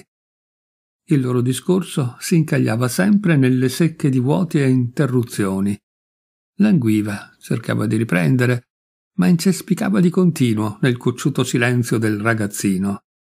Soprattutto per la madre, quel tacere caparbio era di peso. Lo osservò di lato, cautamente, e rimase sgomenta, notando per la prima volta, all'improvviso, nel modo in cui il bambino serrava le labbra, una somiglianza col marito quando era nervoso o in collera. Le dava disagio vedersi ricordare suo marito proprio ora che intendeva giocare a rimpiattino con un'avventura. Come uno spettro, un mentore della coscienza, doppiamente insopportabile, lì, nello spazio angusto della carrozza, e appariva il ragazzino a pochi centimetri da lei, con i suoi occhi oscuramente inquieti, in agguato, dietro la fronte pallida. Ed ecco Edgar alzò lo sguardo per la durata di un secondo. Subito entrambi abbassarono gli occhi. Si erano accorti che si stavano spiando per la prima volta nella loro vita. Fino ad allora avevano nutrito cieca fiducia l'uno nell'altra, ma adesso qualcosa era cambiato di colpo tra madre e figlio, tra lei e lui. Per la prima volta nella loro vita cominciavano a studiarsi, a scindere i loro destini, ambedue già odiandosi in segreto, di un odio che era ancora troppo nuovo perché osassero ammetterlo di fronte a se stessi. Tutti e tre provarono un grande sollievo quando i cavalli si fermarono davanti all'albergo. La gita era stata un fallimento. Erano pienamente consapevoli, ma nessuno osava dirlo. Edgar smontò per primo. Sua madre accampò la scusa di un mal di testa e salì in camera, di volata, era stanca e voleva stare sola. Edgar e il barone rimasero da basso. Il barone pagò il cocchiere, guardò l'orologio e si avviò verso la hall senza curarsi del ragazzino. Gli passò accanto, con la sua schiena slanciata, snella, con quell'andatura leggera, ritmica, dinoccolata, che tanto affascinava il bambino, il quale il giorno prima già aveva cercato di imitarla. Gli passò accanto senza fare una piega, Evidentemente aveva scordato il ragazzo, piantandolo lì, con il cocchiere e i cavalli, come un estraneo. Qualcosa in Edgar si spezzò quando vide passar via a quel modo l'uomo che nonostante tutto seguitava ad idolatrare. Disperazione proruppe dal suo cuore quando l'altro gli passò accanto a quel modo, senza sfiorarlo con il soprabito, senza dire una sola parola a lui, che pure non si sentiva affatto in colpa. La compostezza faticosamente serbata si sbriciolò. Il fardello della dignità, gonfiato d'artificio, gli scivolò dalle spalle troppo strette. Ridivenne un bambino, piccolo e insignificante come il giorno prima, e prima ancora. Si sentì trascinare contro il suo volere. Con passi rapidi e tremanti seguì il barone, e mentre quello stava imboccando le scale, gli sbarrò il passo e gli disse stravolto, trattenendo a stento le lacrime. Che cosa le ho fatto? Perché lei mi ignori in questo modo? Perché mi tratta sempre così adesso? E la mamma pure. Perché cerca sempre di sbarazzarsi di me? Le do fastidio? O magari ho fatto qualcosa di male? Il barone rimase scosso. In quella voce c'era un timbro che lo turbava e inteneriva. Fu preso da compassione per l'ignaro ragazzino. Edi, sei proprio uno sciocco, sai? Oggi ero di cattivo umore. E tu sei un caro ragazzo, al quale voglio veramente bene. E intanto gli arruffava con forza i capelli, volgendo tuttavia un po' la faccia, per non dover fissare quegli occhi da bambino, grandi, umidi, imploranti. La farsa che stava recitando cominciava a risultargli imbarazzante. In fondo già si vergognava di aver scherzato in maniera così imprudente con il forte attaccamento del ragazzo, e quella vocina sottile, scossa da segreti singhiozzi, gli faceva male. Adesso sali, Eddie, va. Stasera andremo di nuovo d'accordo, vedrai, disse in tono conciliante. Ma non permetterà che la mamma mi spedisca a letto subito, vero? No, no, Eddie, non lo permetterò sorrise il barone. Adesso va, su, da bravo, devo cambiarmi per la cena. Edgar se ne andò, lì per lì, felice. Ma presto il martello tornò a farsi sentire nel suo cuore. Nello spazio di un giorno era invecchiato di anni. Una presenza estranea, il sospetto, si era ormai saldamente annidata nel suo animo infantile. Rimase in attesa. Era in gioco la prova decisiva. Sedevano a tavola in compagnia. Erano già le nove, ma la mamma non lo mandava a letto. La cosa lo inquietava. Perché proprio quella sera permetteva che stesse lì tanto a lungo, mentre di solito era così precisa? Forse il barone le aveva rivelato il suo desiderio e le cose che si erano detti. All'improvviso si sentì amaramente pentito di essergli corso dietro quest'oggi con il cuore aperto, fiducioso. Alle dieci sua madre si alzò d'un tratto e si congedò dal barone. E, caso strano, anche lui non parve per nulla stupito di quella precoce conclusione della serata, né, come era solito fare, cercò di trattenerla. Sempre più forte il martello batteva nel petto del bambino. Adesso si era veramente al dunque. Anche lui fece finta di nulla e senza obiettare seguì la madre verso la porta ma all'improvviso alzò di scatto gli occhi ed effettivamente in quell'attimo captò un'occhiata sorridente che al di sopra della sua testa lei stava giusto lanciando al barone, un'occhiata di complicità, di segreta intesa, sicché il barone lo aveva tradito. Per questo dunque la serata si era conclusa così presto. Volevano che si cullasse in una tranquilla sicurezza, perché il giorno dopo non fosse più tra i piedi. Canaglia, mormorò il ragazzo. Che cosa hai detto? domandò la madre. Niente, sibilò tra i denti. Anche lui aveva adesso il suo segreto. Il suo nome? Odio. Odio sconfinato nei confronti di entrambi. Silenzio. Ora l'inquietudine di Edgar era cessata. Finalmente assaporava un sentimento puro, chiaro, odio e aperta inimicizia. Adesso, che era certo di essere di troppo, lo stare insieme si trasformava per lui in un godimento di complicata perfidia. Si deliziava all'idea di disturbarli, di ostacolarli finalmente con tutta la forza della sua ostilità. Per prima cosa mostrò i denti al barone. Quando quello scese al mattino e passandolo salutò cordialmente con un Ciao, Eddie. Edgar, senza alzare gli occhi, restando seduto in poltrona, per tutta risposta gli ringhiò un secco Giorno. La mamma è già scesa? Edgar seguitò a leggere il giornale. Non lo so. Il barone rimase interdetto. Ma che storia era quella, adesso? Dormito male, Eddie, vero? La battuta intendeva come al solito calmare le acque ma Edgar si limitò a buttargli là un no sprezzante e si immerse di nuovo nel giornale. Povero scemo, mormorò tra sé il barone, e alzando le spalle passò oltre. La guerra era dichiarata. Anche verso la mamma Edgar mostrò una fredda cortesia. Respinse tranquillamente un maldestro tentativo di spedirlo al campo da tennis. Il sorriso appena accennato sulle labbra, con una lieve punta di amarezza, rivelava che non era più disposto a farsi turlupinare. Preferisco una passeggiata insieme a voi, mamma, disse con gentilezza ipocrita, fissandola negli occhi. Chiaramente la risposta non le riuscì gradita. Esitò, come se cercasse qualcosa. Aspettami qui, decise alla fine, e andò a fare colazione. Edgar attese, ma la sua diffidenza era desta.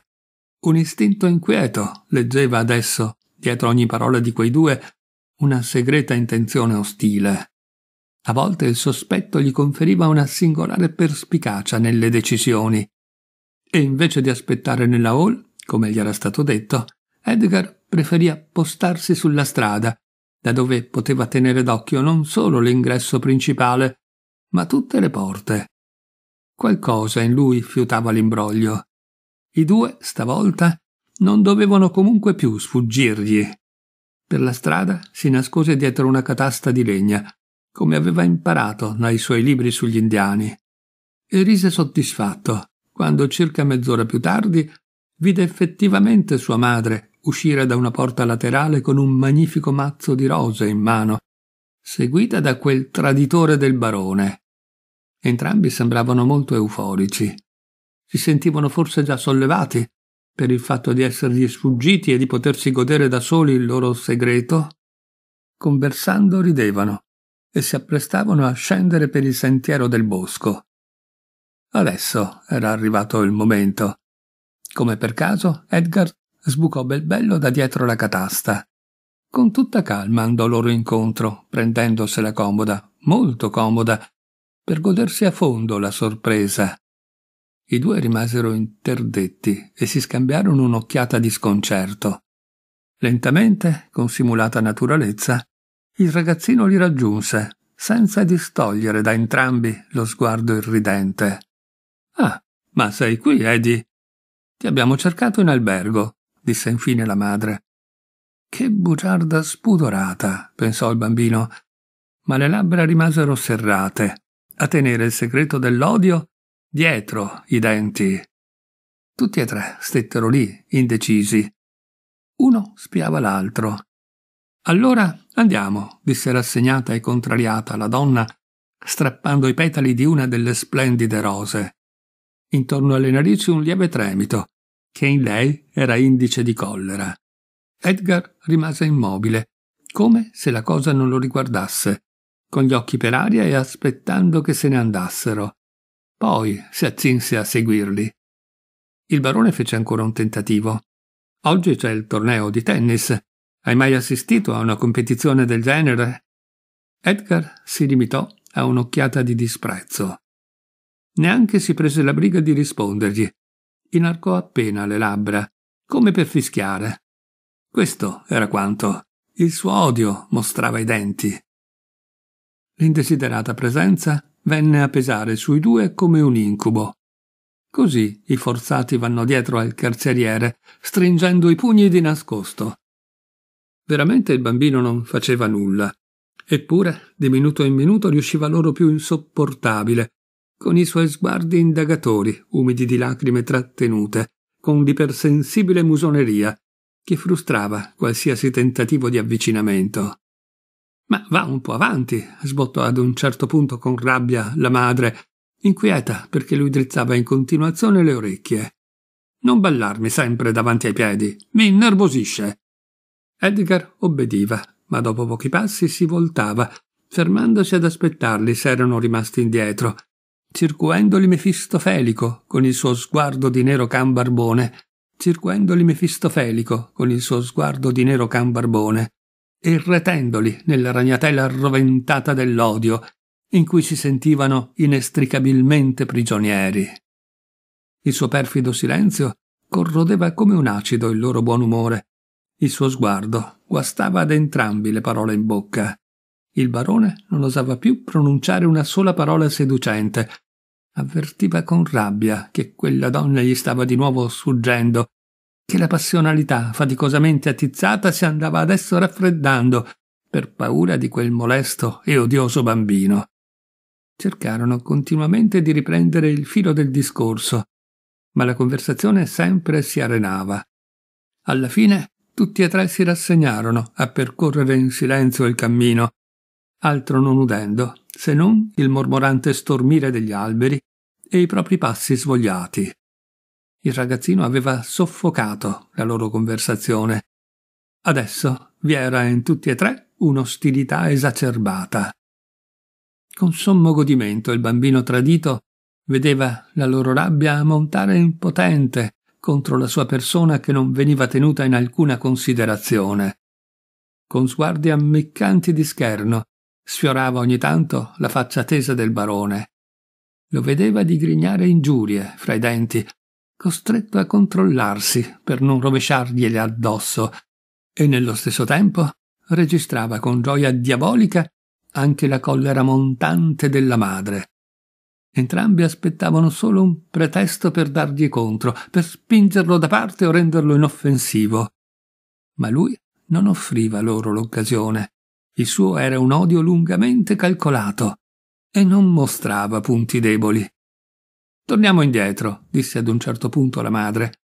Sentiva che non sarebbe riuscita a controllarsi oltre, che avrebbe dovuto fare qualcosa, perlomeno urlare sotto quella tortura. Che peccato, disse Edgar serafico. È così bello. Entrambi si resero conto che il ragazzino li prendeva in giro, ma non osarono dire nulla. In due giorni quel tiranno aveva imparato a controllarsi in modo assolutamente meraviglioso. Non un muscolo del volto ne tradiva l'ironia tagliente. Senza dire una parola fecero a ritroso il lungo tragitto. In lei l'irritazione seguitava a covare sorda quando si ritrovò sola con il figlio nella stanza. Buttò da una parte con stizza l'ombrellino ai guanti. Capì subito che i nervi della madre erano tesi e avevano bisogno di scaricarsi. Ma lui cercava la scenata e rimase apposta nella stanza per provocarla. Lei camminava avanti e indietro, Tornava a sedersi, tamburellava sul tavolo con le dita, poi scattava in piedi di nuovo. Sei tutto arruffato, vai in giro tutto sporco. È una vergogna di fronte alla gente. Non hai un po' di ritegno alla tua età? Senza una parola di replica, il ragazzino andò a pettinarsi. Quel silenzio, quel tacere ostinato, freddo, con l'aria di irrisione sulle labbra, la faceva impazzire di rabbia. Avrebbe voluto riempirlo di botte. Vattene in camera tua, gli urlò. Non riusciva più a sopportarne la presenza. Edgar sorrise ed uscì. Come tremavano adesso quei due davanti a lui. E quale paura avevano il barone e lei di ogni momento da passare in compagnia, della presa dura e spietata dei suoi occhi. Più loro si sentivano a disagio, e più lo sguardo del ragazzo sprizzava soddisfazione, più si faceva provocatoria la sua gioia. Edgar tormentava i due esseri inermi con tutta la crudeltà, quasi ferina dei bambini. Il barone riusciva ancora ad arginare la propria rabbia, perché sperava di rendergli prima o poi la pariglia, e comunque pensava soltanto al suo obiettivo. Ma lei, la madre? Ma lei, la madre, perdeva di continuo le staffe. Per lei era un sollievo poterlo investire in malo modo. Non giocare con la forchetta, lo apostrofava. Sei uno scranzato. Non meriti proprio di stare a tavola con i grandi. Edgar si limitava a sorridere. Sorrideva tenendo la testa leggermente piegata da un lato. Sapeva che quello schiamazzo significava disperazione ed era fiero che loro si tradissero così. Adesso il suo sguardo era assolutamente tranquillo, come quello di un medico. Un tempo forse sarebbe stato maligno per farla incollerire, ma odiando si impara molto presto. Ora si limitava a tacere. Taceva a oltranza finché lei non si metteva ad urlare sotto il peso del suo silenzio. La madre era arrivata al limite della sopportazione. Come si alzarono da tavola e di nuovo Edgar si apprestò a seguirli con quel suo naturale accanimento, lei sbottò furibonda. Dimenticando ogni riguardo, sputò la verità. Torturata dalla presenza subdola del figlio, si inalberò come un cavallo tormentato dalle mosche. Perché continui a corrermi dietro come un bambino di tre anni? Non voglio averti sempre appresso.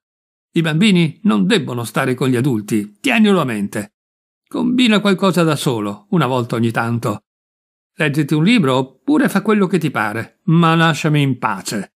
Mi dai sui nervi con quel tuo strisciarmi attorno, con la tua detestabile scontrosità.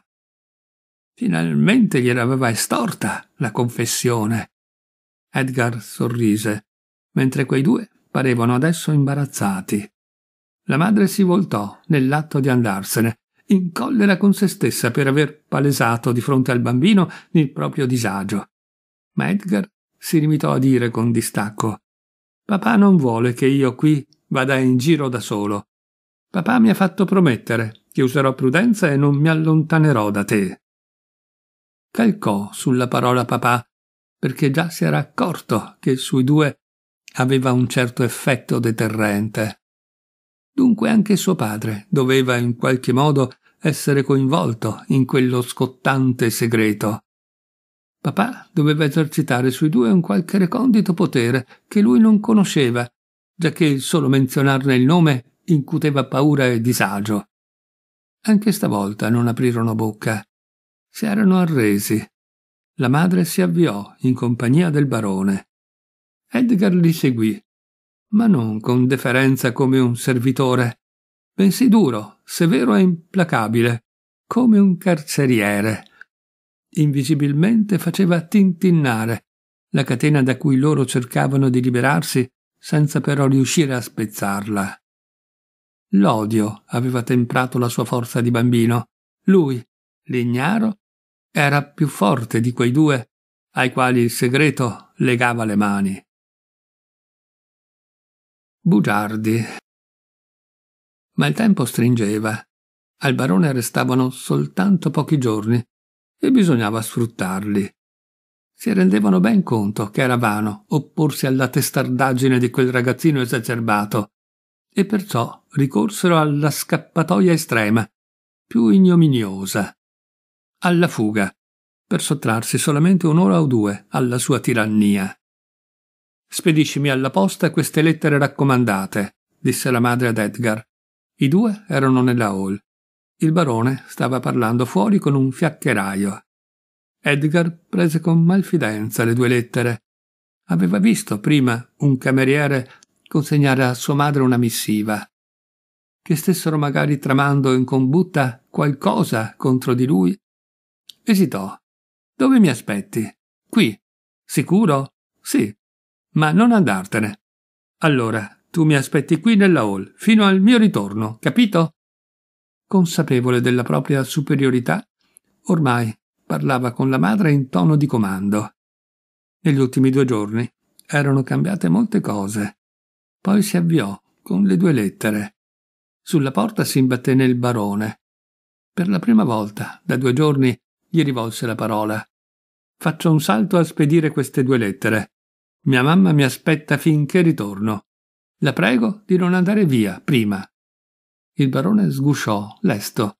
Sì, certo, aspetteremo. Edgar si precipitò all'ufficio postale. Dovette attendere. Un signore davanti a lui si dilungava in una serie di noiosi quesiti. Finalmente riuscì a sbrigare la faccenda e tornò di volata con le ricevute.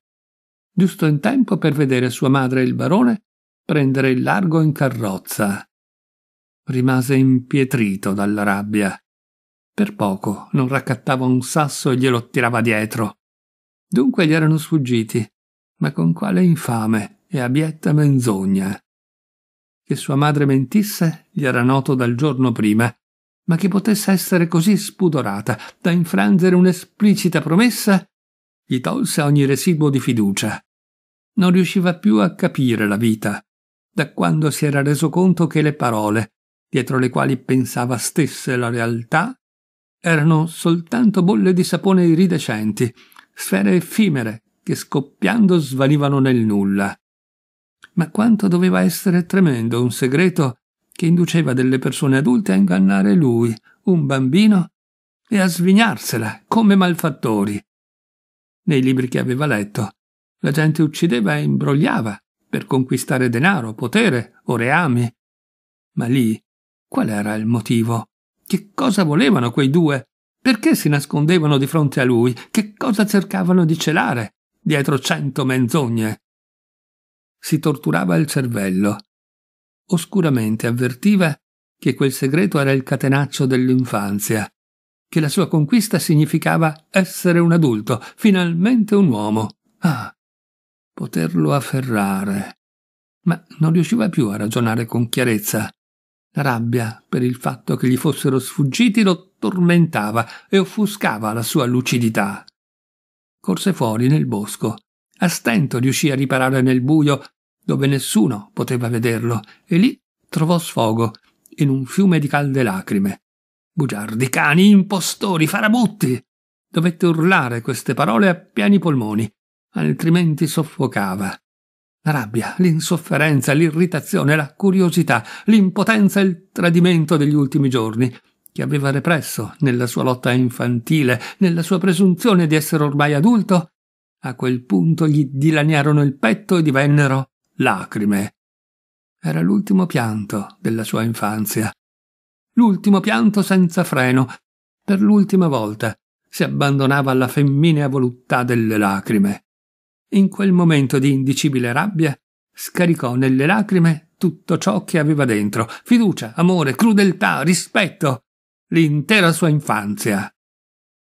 Il ragazzo che poi tornò in albergo era un altro.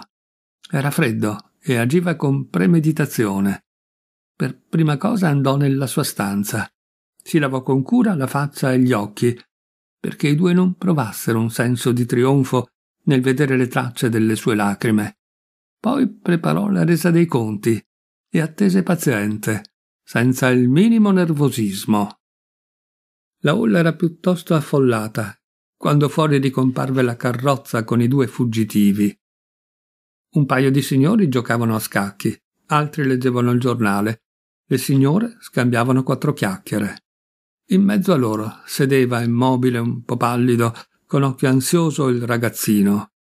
Come la madre e il barone entrarono, un po' imbarazzati di trovarselo davanti così, all'improvviso, e già accingendosi a far fugliare la scusa convenuta, lui li affrontò con calma dignità e disse in tono di sfida Signor barone, vorrei dirle una cosa.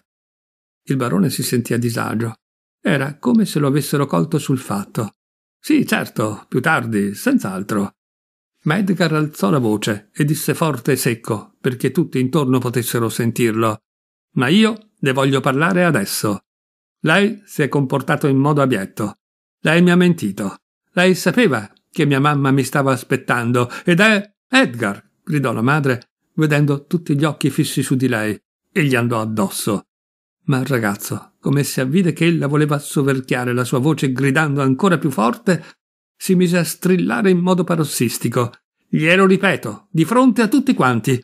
Lei ha mentito in modo infame. E questo è vile. Questo è miserabile. Il barone impallidì. I presenti fecero tanto d'occhi, certuni ridacchiando. La madre afferrò il bambino, che tremava dall'agitazione. Vieni subito in camera tua, altrimenti ti pesto qui, davanti a tutti, balbettò Rauca. Ma Edgar aveva già ritrovato la calma. Gli dispiaceva di aver perso le staffe a quel modo. Era scontento di sé, perché in effetti voleva sfidare il barone con freddezza, ma la rabbia era stata più forte della volontà. Tranquillamente senza fretta si avviò verso le scale. Signor barone, la prego di scusare la sua villania. Come ben sa, è un bambino nervoso, farfugliò ancora la madre, confusa dagli sguardi un po' maligni della gente puntati su di lei. Niente al mondo le risultava più terribile di uno scandalo, ed era consapevole che a quel punto doveva darsi un contegno. Invece di prendere subito il largo, andò prima dal portiere, chiedendo se c'erano lettere e altre cose di poco conto, e poi si avviò verso il piano di sopra, come se nulla fosse successo. Ma alle sue spalle si abbordava lieve una scia di sussurri e risolini repressi. Salendo, rallentò il passo. Di fronte alle situazioni serie era sempre smarrita e in fondo quel contrasto le faceva paura. Non poteva negare di essere in colpa e poi temeva lo sguardo del figliuolo, quello sguardo nuovo, sconosciuto, così strano, che la paralizzava e la rendeva insicura. Per timore, decise di provarci con la dolcezza, perché sapeva che in caso di scontro aperto quel ragazzino esacerbato adesso era il più forte. Aprì piano la porta. Edgar era seduto lì, tranquillo e freddo. Gli occhi che alzò su di lei non tradivano la minima paura, non esprimevano neppure curiosità. Pareva molto sicuro di sé. Edgar, cominciò in tono più possibile materno, che cosa ti è saltato in mente? Mi sono vergognata di te. Come si può essere così villani? Tanto più poi da parte di un bambino verso un adulto. Vedi di fare subito le tue scuse al signor barone. Edgar guardava fuori dalla finestra. Il no lo disse propriamente agli alberi di fronte. La sua sicurezza cominciava a sconcertarla. Edgar, ma che cosa ti sta succedendo? Sei così diverso dal solito. Non ti riconosco più. Hai sempre stato un bambino intelligente, educato, con cui si poteva parlare. Di colpo ti comporti come se avessi il diavolo in corpo. Ma che cos'hai contro il barone? Ti piaceva tanto? E lui è sempre stato gentile con te. Già, perché voleva conoscere te. Si sentì a disagio. Storie, che cosa ti salta in mente? Come puoi pensare una cosa simile? Ma il ragazzino si ribellò. È un bugiardo, un falsone. Ogni cosa che fa è calcolo e bassezza. Voleva conoscerti, ecco perché era gentile con me e mi ha promesso un cane. Non so che cosa ti abbia promesso e perché sia gentile con te, ma certamente anche da te, mamma, vuole qualcosa. Altrimenti non sarebbe così cortese e gentile. È un malvagio. Mente. Guardali bene, una volta tanto i suoi occhi da falsone. Ah, io lo odio, quel miserabile bugiardo, quel farabutto. Ma, Edgar, come puoi dire una cosa simile? Era turbata. Non sapeva come rispondergli. Dietro di sé una sensazione, le diceva che il figliuolo era nel giusto. Sì, è un farabutto. Questo non me lo togli dalla testa. Tu stessa dovresti rendertene conto. Perché ha paura di me? Perché si nasconde davanti a me? Perché sa che io ho capito le sue vere intenzioni, che lo conosco, quel farabutto. Come puoi dire una cosa simile? Il cervello di lei era prosciugato. Solo le labbra esangui seguitavano a balbettare queste due frasi. All'improvviso fu presa da una tremenda paura, senza capire se fosse paura del barone oppure del bambino. Edgar vide che il suo monito faceva effetto e fu tentato di tirarla dalla sua parte, di farsela alleata, nell'odio, nell'inimicizia verso il barone. Si accostò con tenerezza alla madre, la abbracciò e la sua voce divenne suadente dall'emozione. Mamma, disse, tu stessa ti sarai accorta che le sue intenzioni non sono buone. Lui ti ha completamente trasformata. Sei tu a essere un'altra, non io. Lui ti ha messa contro di me per averti solo per sé. È certo che ti vuole ingannare. Non so che cosa ti abbia promesso. So soltanto che non lo manterrà. Dovresti stare in guardia da quell'uomo. Chi mente a una persona, mente anche all'altra. È un malvagio di cui non ci si deve fidare. Quella voce tenera quasi in lacrime le pareva uscire dal proprio cuore.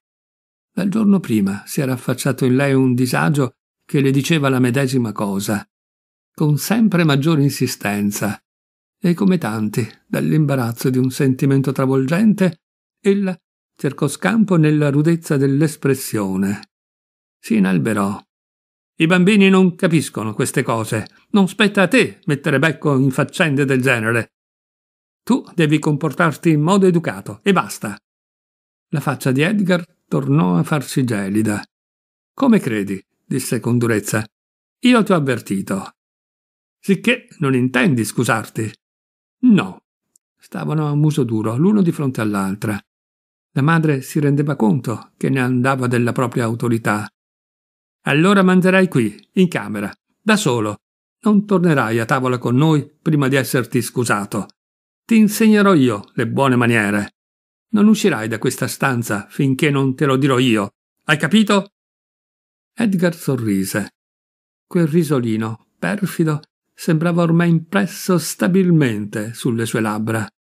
Dentro di sé era in collera con se stesso. Quanto era stato sciocco da parte sua allentare ancora una volta le briglie del cuore nell'intento di mettere in guardia quella bugiarda. La madre uscì senza degnarlo di uno sguardo. Temeva quegli occhi taglienti.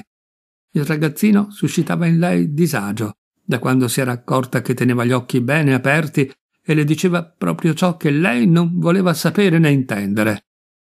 Per la donna era terribile vedere la propria voce interiore, la propria coscienza andare in giro scissa da lei, nelle sembianze di un bambino, del suo bambino come monito irridente. Fino ad allora quel bambino era stato un appendice della sua esistenza, un ornamento, un trastullo, qualcosa di caro e familiare, a volte magari anche un peso, ma comunque qualcosa che seguiva il medesimo flusso, in sintonia con la sua vita. Ora, per la prima volta, si inalberava e recalcitrava di fronte al volere di lei. E il ricordo del suo bambino era adesso venato da qualcosa di simile all'odio. E tuttavia, mentre un po' stanca scendeva le scale, la voce infantile le risuonava dentro. Dovresti stare in guardia da lui. Non le riusciva di tacitarne il monito. Nel passare le balenò davanti uno specchio. Lo fissò interrogativa, a fondo, sempre più a fondo, finché le sue labbra si schiusero in un lieve sorriso e si arcuarono, come a formare una parola temeraria. Ancora le risuonava dall'interno quella voce. Ma lei alzò le spalle, quasi per scuotersi di dosso tutti quegli scrupoli invisibili. Diede allo specchio un'occhiata luminosa sollevò il vestito e scese, con il gesto deciso di un giocatore che butti sul tavolo la sua ultima, sonante moneta. Tracce al chiaro di luna. Il cameriere, che aveva portato il pasto ad Edgar nella stanza dove era agli arresti domiciliari, richiuse la porta, facendo scattare la serratura. Il ragazzino ebbe un gesto di stizza. Evidentemente la madre aveva disposto che lo si tenesse sotto chiave come una bestia feroce.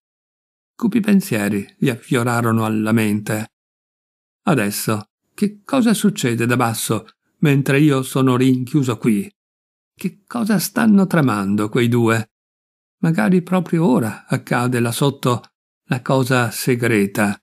E così io non potrò essere presente. Ah, questo segreto, che avverto sempre ovunque, quando mi trovo in mezzo agli adulti, questo segreto davanti al quale loro sbarrano la porta di notte, che avvolgono in un parlottare sommesso, se per caso io entro, questo grande segreto, che da giorni è un passo da me, a portata di mano, e che non si lascia ferrare.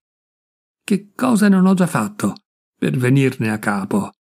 A suo tempo ho sottratto dallo scrittoio di papà certi libri e li ho letti e dentro c'erano tutte quelle strane cose, solo che io non le ho capite. Deve esserci come un sigillo che prima va spezzato per arrivarci, forse in me, forse negli altri. Ho chiesto alla donna di servizio, l'ho pregata di spiegarmi quei passi dei libri, ma lei mi ha riso in faccia. Terribile essere un bambino pieno di curiosità e non poter chiedere a nessuno essere sempre ridicoli agli occhi dei grandi, come qualcosa di sciocco o di inutile. Ma ci arriverò, lo sento. Tra poco saprò. Una parte è già nelle mie mani e non mollerò prima di aver scoperto tutto quanto. Tese l'orecchio per sentire se arrivava qualcuno. Fuori un vento lieve passava tra gli alberi, spezzando in cento schegge baluginanti tra i rami lo specchio immobile del chiaro di luna. Non può essere nulla di buono quello che i due hanno in mente, se no non sarebbero ricorsi a così miserabili menzogne per togliermi di torno. Certo, ora rideranno di me, quei maledetti, perché finalmente non gli sto più fra i piedi. Ma sarò io a ridere per ultimo. Che sciocchezza da parte mia lasciarmi rinchiudere qui dentro, concedere loro un attimo di libertà, anziché stargli appiccicato, spiandone ogni mossa. So che i grandi sono sempre imprudenti, e anche loro finiranno per tradirsi. Ci credono molto piccoli, in continuazione, e pensano che la sera noi dormiamo sempre, ma dimenticano che si può anche fingere di dormire e rimanere in ascolto, che si può fare i tonti ed essere assai furbi. Ultimamente, quando la zia ha avuto un bambino, loro lo sapevano da un pezzo, ma davanti a me hanno fatto la scena di chi cade dalle nuvole, come se la cosa non li avesse sorpresi. Ma anch'io lo sapevo, perché li ho sentiti parlare settimane prima, la sera, mentre loro credevano che io dormissi. E così anche stavolta li sorprenderò, quegli infami. Ah, se potessi vedere attraverso la porta, spiarli furtivamente mentre si credono al sicuro. O non dovrei forse suonare il campanello? Così verrebbe sulla cameriera ad aprire la porta e a chiedere che cosa desidero. Oppure potrei fare chiasso, spaccare un vaso.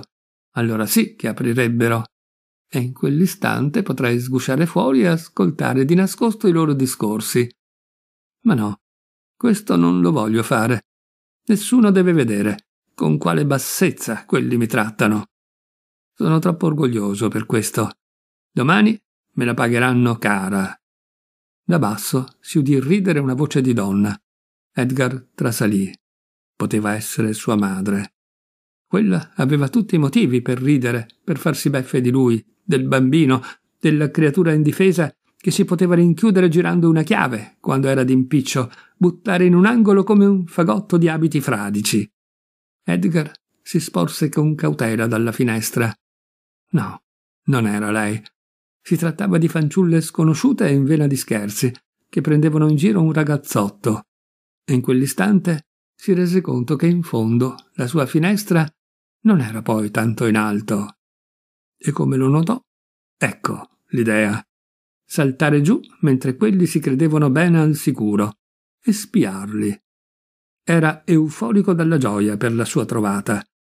Gli pareva di stringere nelle mani il grande balenante segreto della fanciullezza. Fuori, fuori! lo incitava dentro di lui un tremito febbrile. Non c'era alcun pericolo. Gente non ne passava. E già era compiuto il balzo. Ci fu un leggero rumore di ghiaia smossa, ma non lo sentì nessuno. Appostarsi, spiare, in quei due giorni era diventato il massimo diletto della sua vita. E ora sentiva un voluttuoso piacere, misto a un leggero brivido di paura, nel girare intorno all'albergo con passi silenziosi, evitando con cura il riflesso molto intenso delle luci. Per prima cosa la guancia cautamente premuta contro il vetro, scrutò nella sala da pranzo. Il loro posto consueto era vuoto. Dopodiché continuò la sua indagine, di finestra in finestra. Nell'albergo non osò entrare, per timore di trovarseli all'improvviso davanti in qualche corridoio. Dei due però non vi era traccia. Stava già disperando quando vide due ombre proiettarsi sull'ingresso. Si ritrasse di scatto e si acquattò nel buio, e sua madre uscire con l'immancabile accompagnatore. Sicché era arrivato, giusto in tempo. Che cosa stavano dicendo? Non riusciva a captarlo. Parlavano sottovoce e il vento strepitava con troppa inquietudine fra gli alberi. A un certo punto però udì chiaramente una risata, la voce di sua madre. Rideva in un modo che gli riusciva nuovo, stranamente acuto come titillato, eccitato, nervoso, da lui mai inteso, e tale da spaventarlo. Rideva, quindi non poteva essere qualcosa di pericoloso, di grande e di eccezionale quello che gli tenevano nascosto. Edgar era un po' deluso. Ma perché erano usciti dall'albergo? Dove stavano andando ora, da soli, nella notte?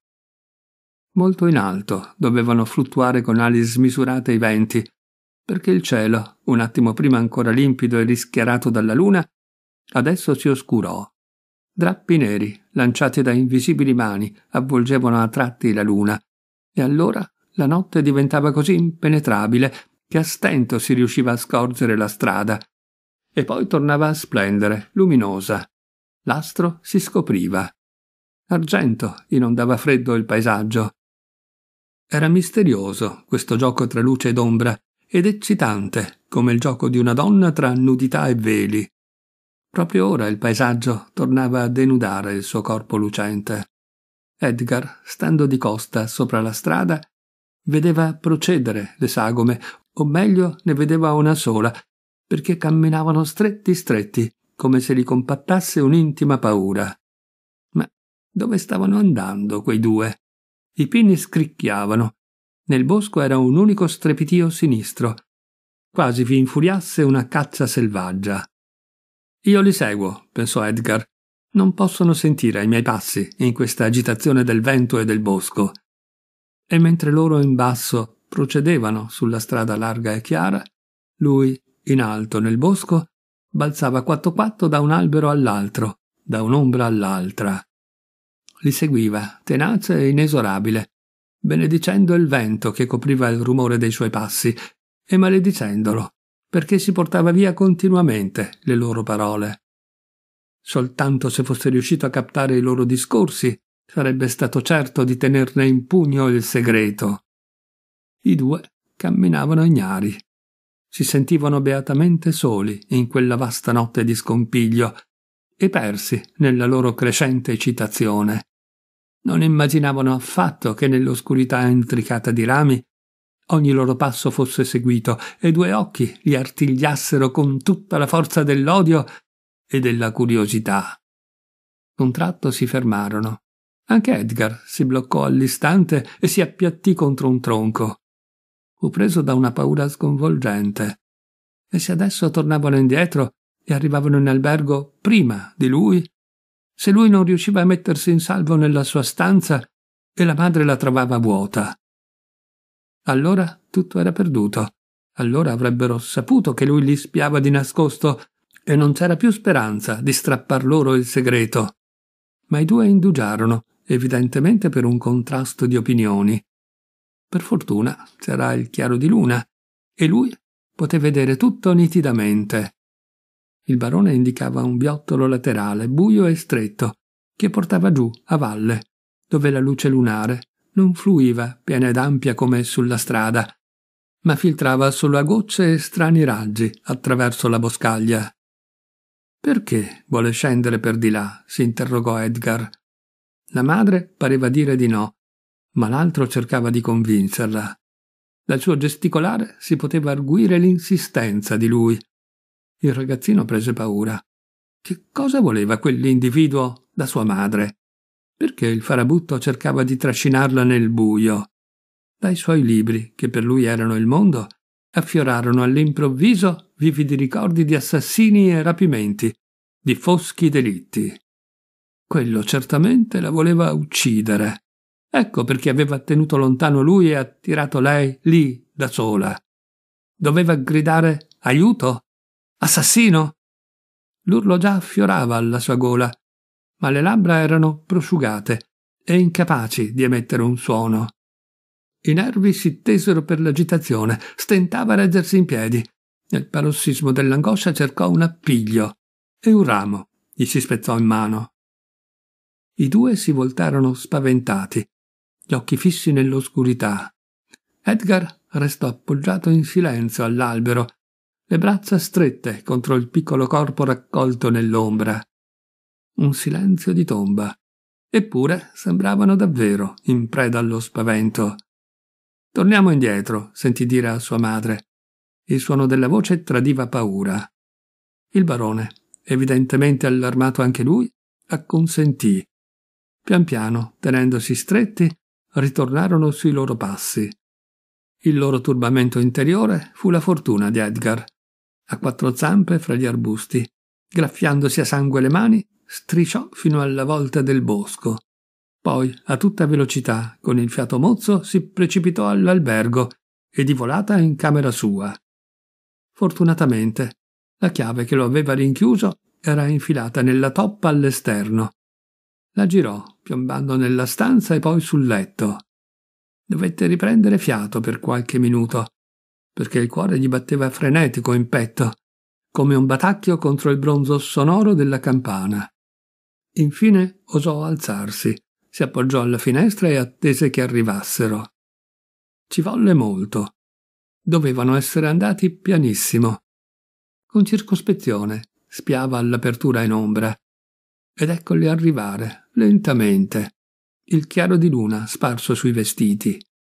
In quella luce verde avevano un'aria spettrale e di nuovo fu colto da un delizioso orrore. Se quello era veramente un assassino, quale atroce delitto aveva mai impedito lui con la sua presenza? Scorgeva in modo nitido i loro volti bianchi come censi. In quello di sua madre c'era un'espressione statica che gli riusciva nuova, mentre l'altro aveva un'aria tesa e seccata, evidentemente perché le sue intenzioni erano fallite. Ormai erano molto vicini, solo a due passi dall'albergo. Solo a due passi dall'albergo le loro figure si scostarono una dall'altra. Avrebbero guardato su? No, non lo fecero proprio. Mi hanno dimenticato, pensò il ragazzino con una rabbia feroce, ma anche con un segreto senso di trionfo. Io però non ho dimenticato voi. Voi pensate certo che io dorma o sia sparito dalla faccia della terra. Ma avrete modo di scoprire il vostro errore. Voglio starvi alle costole passo per passo, finché non avrò strappato quel farabutto il segreto tremendo che non mi fa dormire. Spezzerò la vostra alleanza. Io non dormo.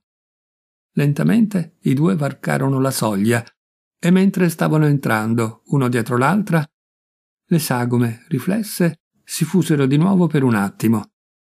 Come un'unica striscia nera la loro ombra scomparve nella porta illuminata.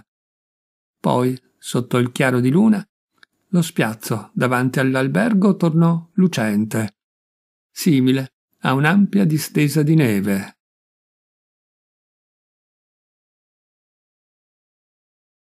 L'aggressione. Edgar si ritrasse dalla finestra con un respiro affannoso. Era scosso dall'orrore, ma in vita sua era stato così vicino a qualcosa di altrettanto enigmatico. Il mondo delle emozioni, delle avventure appassionanti, il mondo dei suoi libri, fatto di assassini e inganni. Nella mente del ragazzo si collocava sempre là, dove erano le favole, a un passo dai sogni, nell'irreale e nell'irraggiungibile. Ma adesso di colpo sembrava esserci finito. Ma adesso di colpo sembrava esserci finito lui in quel mondo orribile, e tutto il suo essere era scosso febbrilmente da un incontro così inatteso. Chi era quell'uomo misterioso, entrato all'improvviso nella sua vita tranquilla? Era davvero un assassino, visto che cercava sempre di appartarsi e di trascinare la madre in luoghi bui. Sembrava incombere un presagio spaventevole. Non sapeva che fare. L'indomani avrebbe senz'altro scritto o telegrafato al padre, ma la cosa non poteva forse accadere subito, quella sera stessa. La madre, infatti, ancora non era tornata in camera sua, ancora stava con quell'odioso estraneo. Fra la porta interna e quella esterna, nascosta dalla tappezzeria e di facile apertura, c'era un'adeguata intercapedine, non più grande del vano di un guardaroba. Edgar sgusciò in quell'angusto spazio buio per spiare i passi della madre sul corridoio. Perché aveva deciso di non lasciarla sola nemmeno un istante. Adesso a mezzanotte il corridoio era deserto, rischiarato dalla luce fioca di un'unica fiamma. Finalmente i minuti gli si dilatavano in modo spaventoso, udì salire dei passi circospetti. Tese l'orecchio allo spasimo. Non era l'andatura lesta di chi voglia raggiungere la propria stanza. Si trattava piuttosto di passi strascicati, esitanti, molto rallentati, come di chi salga un sentiero assai difficoltoso e ripido. e nel mentre un continuo parlottare e far sosta. Edgar tremava dall'eccitazione. Che fossero ancora in due, lui sempre con lei. Il bisbiglio era troppo distante, ma i passi, sebbene tuttora incerti, si fecero più vicini. Ed un tratto sentì la voce odiata del barone dire piano e roca qualcosa che non intese, e poi subito quella di sua madre, con rapida ripulsa. No, oggi no, no. Edgar tremava. I due si facevano sempre più vicini e lui doveva sentire tutto. Ogni passo, per quanto felpato, era una fitta al cuore. E come gli pareva orrida la voce, la voce cupida e suadente, ripugnante, di quell'odioso farabutto. Non sia crudele. Lei era così bella stasera. E l'altra di rimando. No, non devo, non posso. Mi lascia andare. C'è una tale paura nella voce della madre che il ragazzino si spaventa. Ma che cosa vuole ancora da lei? E lei perché lo teme? Intanto si sono avvicinati sempre più e adesso devono essere già davanti alla sua porta. Tremante e invisibile, Edgar è a un palmo da loro, appena schermato dal sottile diaframma della stoffa. Ora le voci sono a un soffio da lui. Venga, Matilde, venga! Di nuovo sente sua madre gemere, più debolmente ormai, in una resistenza che va cedendo. Ma che cosa succede adesso? Sono andati oltre, nel buio. La madre non è entrata nella sua stanza, ma ha proseguito. Dove la sta trascinando? Perché lei non parla più? Le ha forse messo un bavaglio? Le sta serrando la gola? Quei pensieri lo fanno impazzire. Con mano tremante apre di una spanna la porta e nella penombra del corridoio scorge i due. Il barone ha stretto il braccio intorno alla vita della madre e piano la conduce via, mentre lei già sembra cedere. Adesso si ferma davanti alla sua stanza. La vuole trascinare via, si angoscia il bambino. Ora vuole commettere l'atto terribile. Con uno scatto furibondo sbatte la porta e si precipita fuori, verso quei due. Sua madre caccia un urlo, vedendo qualcosa balzarle all'improvviso addosso dal buio. Sembra svenire, sorretta a stento dal barone, il quale però, nel medesimo istante, sente in faccia un piccolo, debole pugno che gli pesta duramente le labbra contro i denti, qualcosa che gli si attacca al corpo con gli artigli come un felino. Lascia andare la donna atterrita, che scappa in un lampo, e alla cieca risponde a suon di cazzotti, prima ancora di sapere contro chi si stia difendendo. Il ragazzino sa di essere il più debole, ma non desiste. Finalmente ecco il momento a lungo atteso di scaricare con furia tutto l'amore tradito, tutto l'odio accumulato. Con i suoi piccoli pugni picchia alla disperata, le labbra contratte in una rabbia febbrile, senza senso. Adesso anche lui è pieno di odio verso quella spia nell'ombra che gli ha guastato gli ultimi giorni e il gioco. Risponde ai colpi senza complimenti, dove capita capita. Edgar geme, ma non molla, non invoca aiuto. Per un minuto lottano in silenzio, accanitamente, nel corridoio buio. A poco a poco il barone si rende conto di quanto sia ridicola quella scazzottatura con un ragazzino e lo afferra di brutto per scaraventarlo via. Ma il piccolo, sentendo i muscoli venir meno e sapendo che di lì a un attimo avrebbe perso la partita come un cane bastonato, con rabbia feroce addenta quella mano solida, robusta, che cerca di agguantarlo per la collottola. Istintivamente il barone, morso, emette un urlo smorzato e lascia la presa. Un attimo soltanto, di cui il bambino approfitta per scappare in camera sua e tirare il chiavistello. Solo un minuto è durato questo scontro notturno. Nessuno, a destra e a manca, lo ha sentito. Tutto tace, tutto sembra immerso nel sonno. Il barone si asciuga la mano insanguinata con il fazzoletto, scrutando ansioso nel buio. Nessuno ci ha fatto caso. Solo in alto, tremola un'ultima luce inquieta che a lui pare beffarda. Tempesta.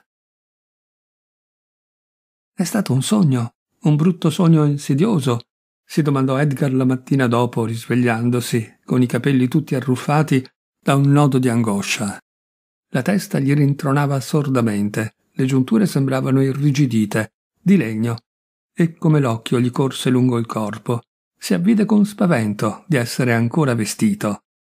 Saltato giù dal letto, andò traballante allo specchio e rabbrividì alla vista della propria faccia pallida, stravolta, con una tumefazione arrossata sulla fronte. A fatica cercò di riordinare i pensieri e angosciosamente si ricordò di tutto quanto.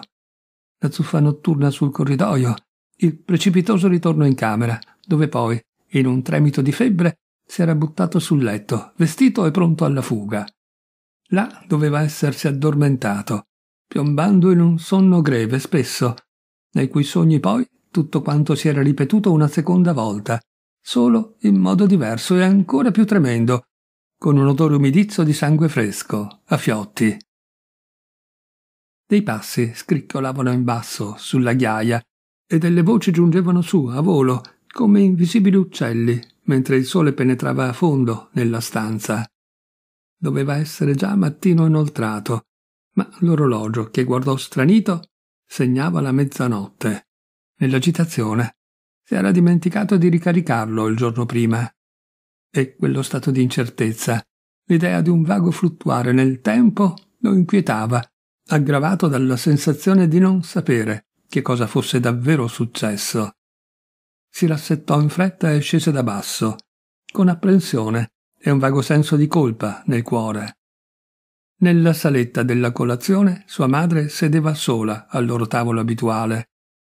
Edgar provò sollievo per il fatto che non ci fosse il suo nemico e non dovesse vederne la faccia odiosa che lui, la sera prima, in un accesso di rabbia aveva preso a pugni. Eppure, accostandosi al tavolo, si sentiva insicuro. Buongiorno, salutò. La madre non gli rispose. Non gli rivolse nemmeno lo sguardo, contemplando con strana fissità il paesaggio in lontananza. Era molto pallida, aveva gli occhi leggermente cerchiati e intorno alle narici quel tremito nervoso così indicativo della sua irritazione. Edgar strinse le labbra. Quel silenzio lo angustiava. Non sapeva, infatti, se la sera prima avesse ferito in modo grave il barone e se lei avesse notizia del loro scontro notturno. E questa incertezza lo tormentava. Ma la faccia della madre rimase talmente rigida che non tentò nemmeno di guardarla, per timore che gli occhi ora abbassati potessero all'improvviso spalancarsi dietro le palpebre calate e abbrancarlo. Divenne del tutto silenzioso. Non osava fare il minimo rumore.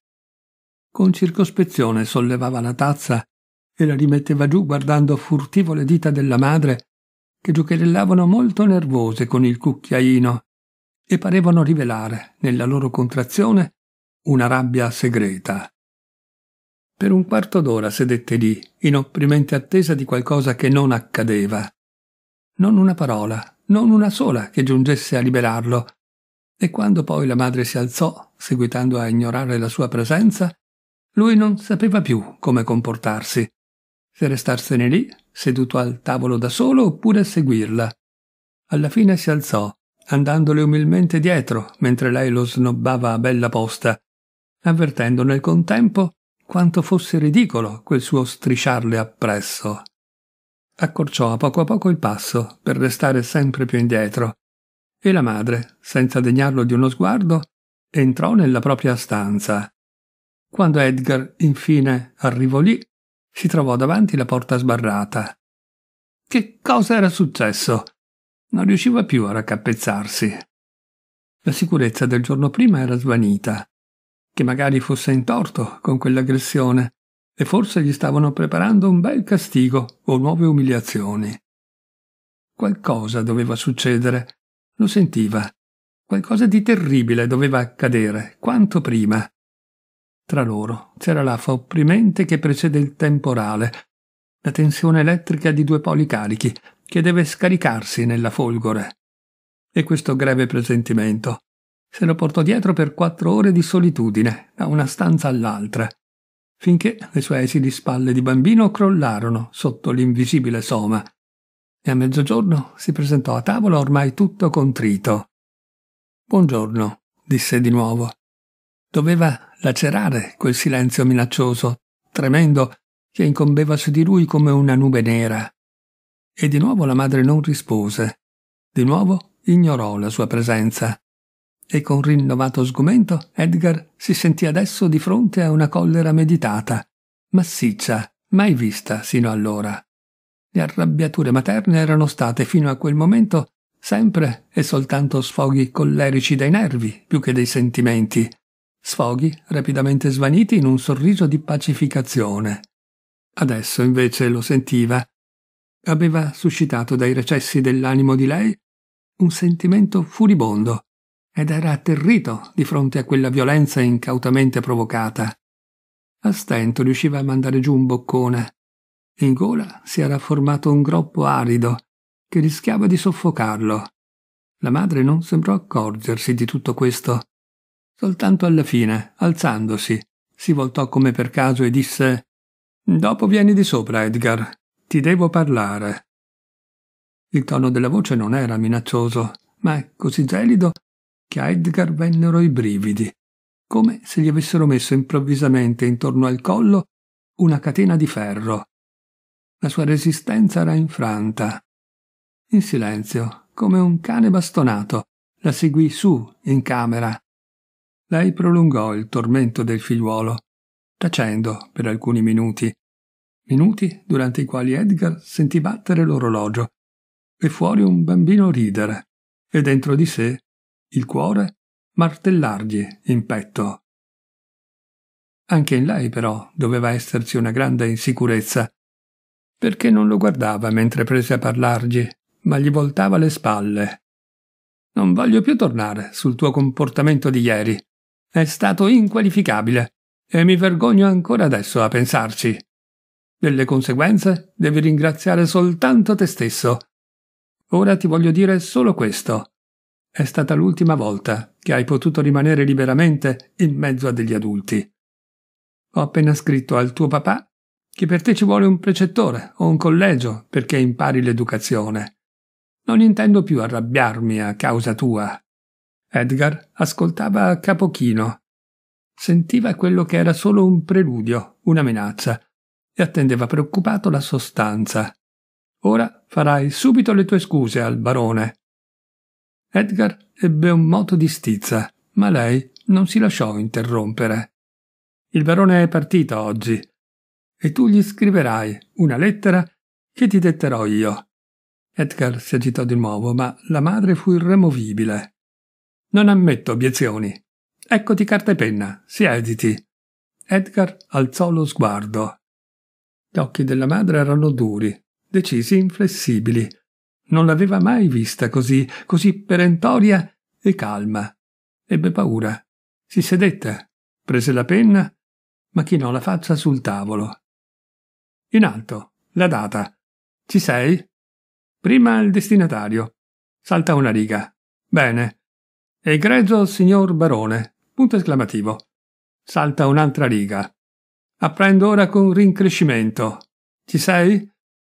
Con rincrescimento che lei ha già lasciato il Semmering.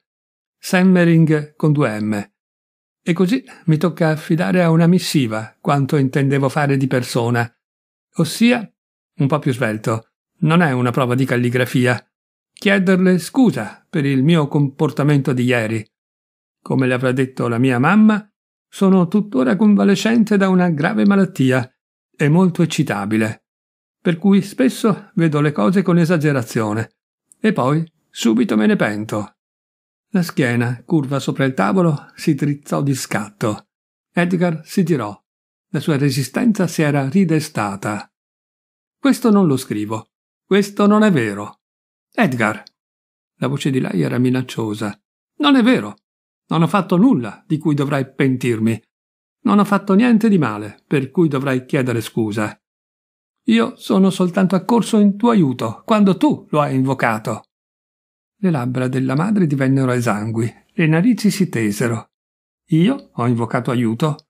Tu sei pazzo. Edgar si arrabbiò. Balzò in piedi di colpo. Sì, ha invocato aiuto, là, fuori, nel corridoio. La notte scorsa, come lui ti ha afferrata. Mi lasci, mi lasci, hai gridato. Talmente forte che l'ho sentito fin dentro la stanza. Tu menti. Non sono mai stata con il barone qui, in corridoio. Mi ha accompagnato soltanto fino alle scale. A Edgar si fermò il cuore di fronte a quella spudorata menzogna. La voce gli venne meno e fissò la madre con occhio vitreo. Tu non eri in corridoio? E lui, lui? Non ti teneva stretta? Non ti ha abbracciata con forza? Lei rise, un riso freddo, secco. Te lo sei sognato. Questo per il ragazzino era troppo. Ormai sapeva che gli adulti mentono che hanno mille piccole giustificazioni sfrontate, bugie che sgusciano attraverso maglie strette e ambiguità astute. Ma quell'impudente freddo negare faccia a faccia lo mandava su tutte le furie. E questi lividi qua, anche questi me li sono sognati? Chi lo sa con chi ti sei azzuffato? Comunque, non sono tenuta a discutere con te. Tu hai soltanto da obbedire e basta. Siediti e scrivi. Era molto pallida. Con le ultime forze cercava di tenere in piedi la sua versione fasulla. Ma in Edgar a quel punto qualcosa crollò. Un'ultima fiammella di fiducia. Non riusciva a capacitarsi che si potesse semplicemente calpestare la verità, così come un fiammifero acceso. Tutto dentro di lui si contrasse in un gelo.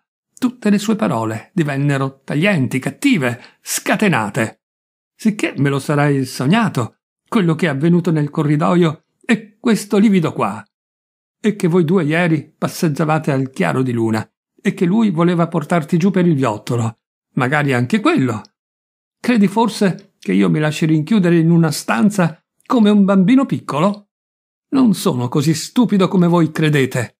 Io la so lunga. La fissò con strafottenza, e questo infranse le sue forze vedere la faccia del proprio bambino davanti a sé, sfigurata dall'odio.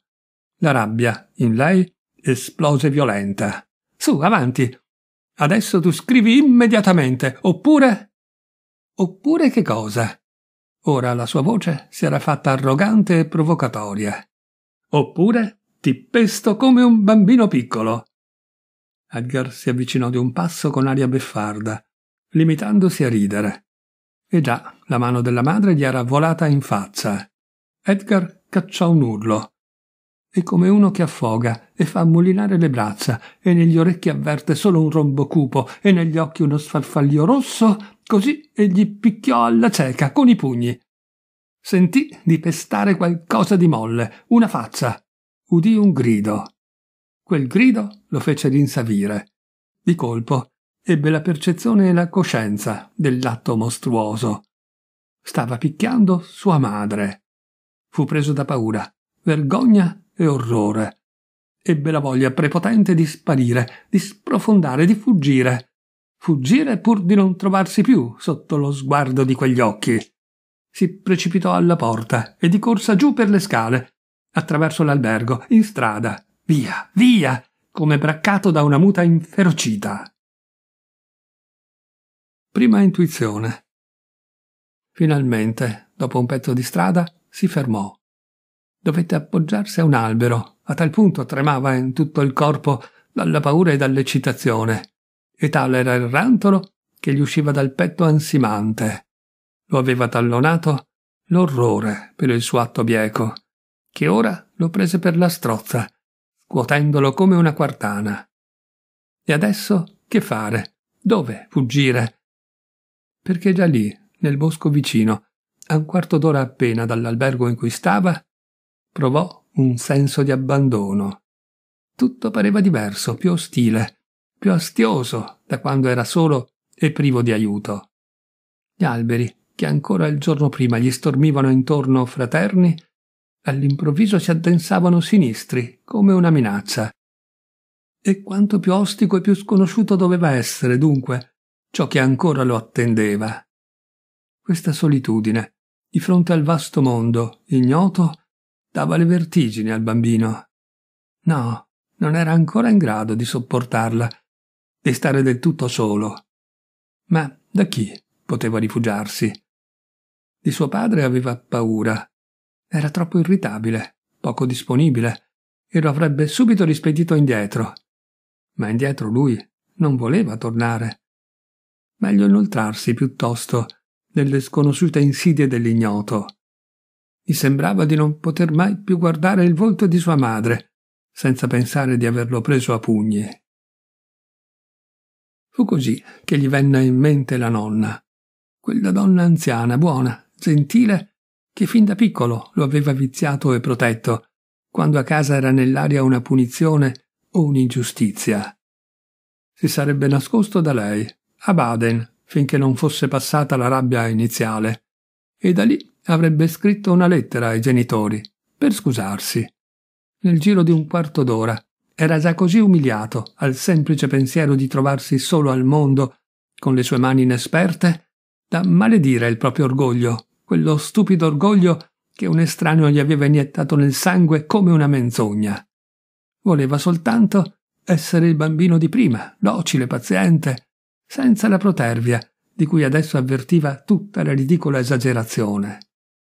Ma come arrivarci a Baden? Come superare quella distanza di ore? In fretta e furia mise mano al borsellino di pelle che portava sempre con sé. Grazie al cielo era ancora lì, lucente, la moneta d'oro da venti corone, nuova di zecca, che gli avevano regalato per il compleanno. Non si era mai deciso a spenderla, anzi, quasi ogni giorno aveva controllato che ci fosse ancora, deliziandosi alla sua vista e sentendosi ricco, e poi l'aveva lustrata ben bene, con il fazzoletto, in uno slancio di tenera gratitudine, finché non brillava come un piccolo sole. Ma l'improvviso dubbio lo angosciò. Sarebbe mai bastata?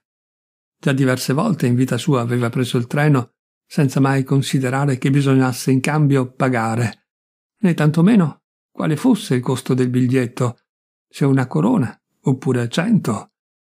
Per la prima volta avvertiva che nella vita esistevano fatti ai quali non aveva mai pensato, che i molti oggetti intorno a lui, capitatigli tra le mani e con cui aveva giocato, erano in qualche modo dotati di un loro specifico valore, di un peso preciso. Mentre ancora un'ora prima si credeva onnisciente, adesso si rendeva conto di essere passato accanto a mille segreti e questioni senza mai badarci, e si vergognava che il suo povero sapere inciampasse già sul primo gradino di un accesso alla vita. Divenne sempre più titubante, mentre i suoi passi incerti, sempre più piccoli, lo conducevano giù alla stazione. Quante volte aveva sognato quella fuga immaginandosi di entrare nella vita a bandiere spiegate, di diventare imperatore o re, soldato o poeta, e ora guardava intimidito il piccolo edificio chiaro, e l'unico pensiero era se le venti corone sarebbero bastate mai per arrivare dalla nonna. I binari splendevano a perdita d'occhio nel paesaggio e la stazione era deserta. Edgar si accostò timidamente alla cassa e domandò sottovoce, perché nessuno lo potesse sentire, quanto costava un biglietto per Baden. Una faccia meravigliata spuntò di là dello sportello scuro. Due occhi sorrisero dietro le lenti al bambino impacciato. Un biglietto intero? Sì, balbettò Edgar, ma senza spocchia, piuttosto con la paura che potesse costare troppo. Sei corone. D'accordo.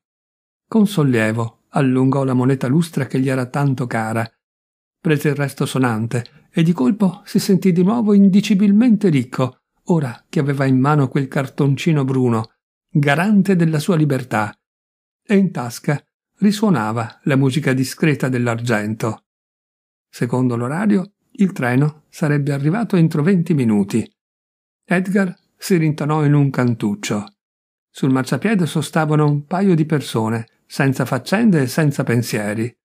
Ma il ragazzino inquieto pareva che tutti guardassero soltanto lui, meravigliandosi che uno così piccolo viaggiasse già da solo, quasi portasse scritto in faccia di essere un fuggitivo e un criminale. quando finalmente il treno fischiò la prima volta da lontano, sopraggiungendo con fragore, Edgar tirò un sospiro di sollievo. Quel treno lo avrebbe portato nel mondo. Solamente nel salire si accorse che il suo biglietto era di terza classe. Fino ad allora aveva sempre viaggiato in prima e di nuovo notò che qualcosa era cambiato.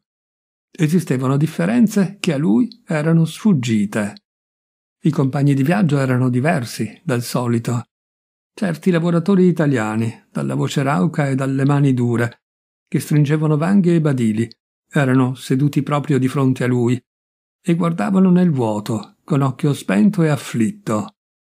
Evidentemente dovevano aver lavorato sodo lungo la strada ferrata, perché alcuni di loro erano stanchi e dormivano con la bocca aperta, appoggiati allo schienale di legno duro e sporco nel treno che sferragliava. Avevano lavorato per guadagnare dei soldi, pensò Edgar, ma non riusciva a immaginare quale ne fosse il compenso. E d'altra parte sentiva che il denaro era una cosa di cui non sempre si disponeva, che bisognava in qualche modo guadagnarsi.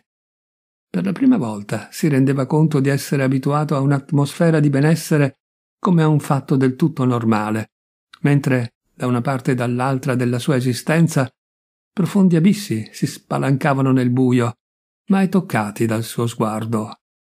D'un tratto comprese che esistevano differenti mestieri e destini, che attorno alla sua vita si assiepavano segreti, a portata di mano oppure mai presi in considerazione. Edgar imparò molto in quell'unica ora da solo, cominciando a vedere tante cose da quell'angusto scompartimento con i finestrini che davano sul mondo. E piano, dalla sua angoscia oscura, prese a sbocciare qualcosa che ancora non era felicità, ma già stupore di fronte al molteplice dispiegarsi della vita.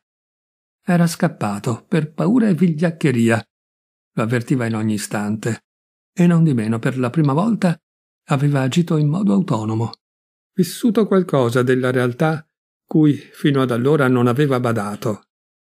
Forse per la prima volta lui stesso era diventato un enigma agli occhi della madre e del padre, così come per lui lo era stato sino a quel momento il mondo.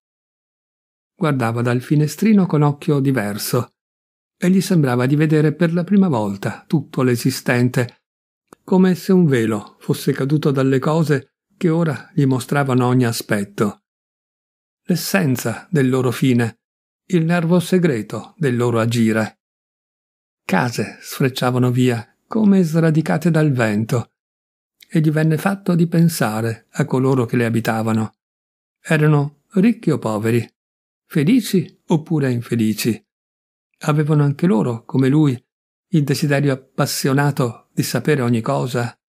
E anche lì magari c'erano dei bambini che fino ad allora, al pari di lui, avevano soltanto giocato con le cose i casellanti, lungo la strada ferrata con le loro bandierine, per la prima volta non gli parevano come un tempo pupazzi sparsi o giocattoli inanimati, oggetti messi lì dal caso indifferente, ma capiva che quello era il loro destino, la loro lotta con la vita. Le ruote giravano sempre più in fretta. Le serpentine facevano scendere a valle il treno. Sempre più dolci apparivano le montagne, sempre più lontane. E già si era in pianura. Ancora una volta si girò a guardarle, ed erano azzurre e indistinte, remote e irraggiungibili. E gli sembrava che là, dove lentamente svanivano nella foschia del cielo, stesse la sua infanzia. Con turbante oscurità. Ma poi a Baden quando il treno si fermò, Edgar si ritrovò solo sul marciapiede, dove già erano accese le luci e i segnali brillavano, verdi e rossi in lontananza. A quello spettacolo multicolore venne ad aggiungersi inaspettata un'improvvisa paura della notte imminente. Di giorno si era ancora sentito al sicuro, perché intorno a lui c'erano delle persone, era possibile riposarsi, sedere su una panchina o guardare le vetrine fermandosi davanti ai negozi. Ma come avrebbe potuto sopportare la cosa se gli altri si rintanavano nelle loro case? E tutti avevano un letto, quattro parole da scambiarsi e poi una notte tranquilla, mentre lui doveva vagabondare da solo, con il senso della propria colpa in un luogo sconosciuto.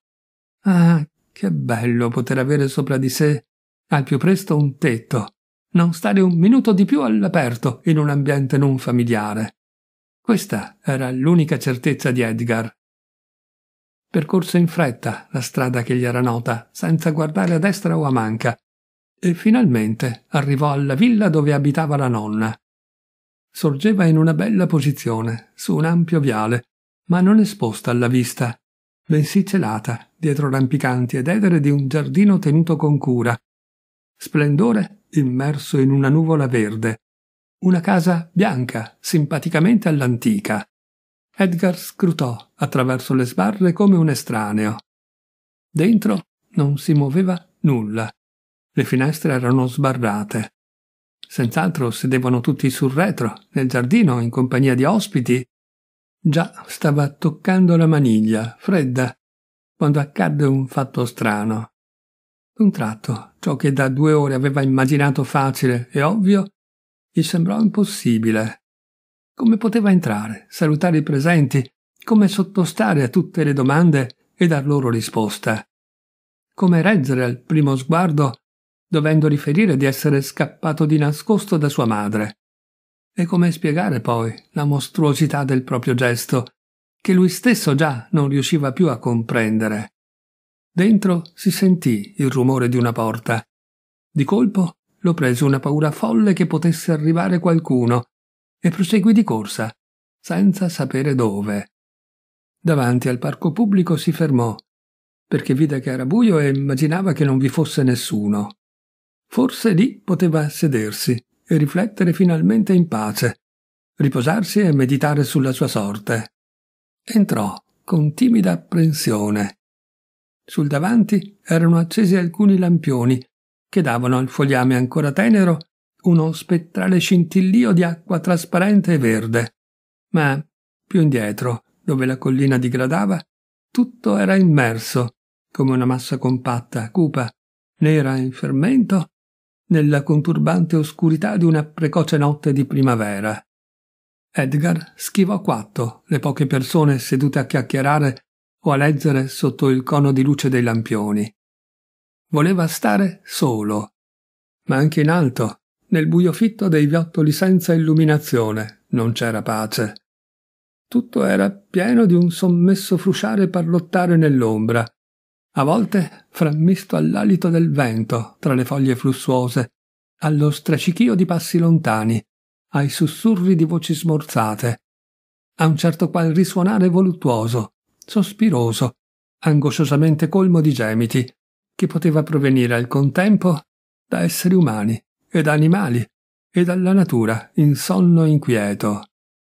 Era un'agitazione insidiosa, sorniona, occulta, allarmante ed enigmatica, quella che pulsava lì, un lavorio sotterraneo nel bosco, magari unicamente connesso con la primavera, ma tale da impaurire in modo singolare il ragazzino spaesato. Si rannicchiò tutto su una panchina in quell'oscurità abissale e cercò di pensare che cosa avrebbe dovuto dire a casa. Ma i pensieri gli sgusciavano via come anguille prima che potesse afferrarli. Senza volerlo, era continuamente indotto a captare il suono ovattato le arcane voci delle tenebre. Com'era spaventosa quell'oscurità, com'era conturbante, e tuttavia misteriosamente bella. Erano animali o esseri umani, oppure soltanto la mano spettrale del vento a intessere tutto quel mormorio e crepitio, quel ronzio e richiamo adescatore. Tese l'orecchio. Era il vento che si insinuava inquieto in mezzo agli alberi, ma erano anche, adesso lo percepì chiaramente, persone, coppiette allacciate, che salivano dal basso, dalla città illuminata, e animavano, con la loro enigmatica presenza, l'oscurità. Che cosa cercavano? Non riusciva a capirlo. Non parlavano tra loro, perché non sentiva voci, solo lo scricchiolare inquieto dei passi sulla ghiaia e di tanto in tanto vedeva nella radura le loro sagome fluttuare via, fugaci, simili a ombre, sempre però strettamente avvinte l'una all'altra, come la volta in cui aveva visto sua madre con il barone. Sicché quel segreto, grande, baluginante e fatale, era presente pure lì. Adesso udiva i passi farsi sempre più vicini e anche un ridere soffocato. Fu colto dalla paura di poter essere scoperto da coloro che si stavano appressando e si rintanò ancora di più nel buio. Ma i due, salendo alla cieca per il viottolo nell'oscurità impenetrabile, non lo notarono. Gli passarono davanti avvinghiati e mentre Edgar già tirava un sospiro di sollievo, improvvisamente si fermarono a breve distanza dalla sua panchina. I loro volti si congiunsero. Edgar non riusciva a vedere bene. Sentì soltanto un gemito uscire dalla bocca della donna e l'uomo balbettare parole ardenti, folli, e un sensuale presentimento permeò la sua paura con un brivido voluttuoso. Rimasero così per un minuto. Poi la ghiaia tornò a scricchiolare sotto i loro passi, che si allontanavano e presto si persero nel buio. Edgar rabbrividì. Il sangue prese a rifluirgli nelle vene, più caldo di prima. Ed un tratto si sentì irrimediabilmente solo in quella conturbante oscurità, con il prepotente bisogno di una voce amica, di un abbraccio, di una stanza luminosa, di una persona cara. Era come se tutto il buio angoscioso di quella notte confusa gli fosse entrato dentro e gli facesse scoppiare il petto. Balzò in piedi. A casa adesso, a casa. Trovarsi in una stanza, misera oppure luminosa, a contatto con altri esseri umani. Che cosa poteva succedergli? Lo picchiassero e sgridassero pure. Non temeva più niente da quando aveva vissuto quel buio e la paura della solitudine. Era spinto oltre, senza sapere come, e all'improvviso si ritrovò davanti alla villa, con la mano sulla maniglia fredda. Notò che adesso le finestre baluginavano, illuminate attraverso il verde, e nel pensiero vedeva, dietro ogni vetro rischiarato, l'ambiente familiare, con le persone che vi erano dentro. Già l'essere lì, a pochi passi, lo rendeva felice. Quella prima sensazione rasserenante d'essere vicino a coloro da cui si sapeva amato. E se ancora indugiava, era soltanto per assaporare più a fondo ciò che presentiva. Ed ecco alle sue spalle una voce, esclamare con stridula sorpresa Edgar, ma è qui! La cameriera della nonna, che lo aveva notato, si precipitò verso di lui e lo prese per mano. La porta venne spalancata dall'interno.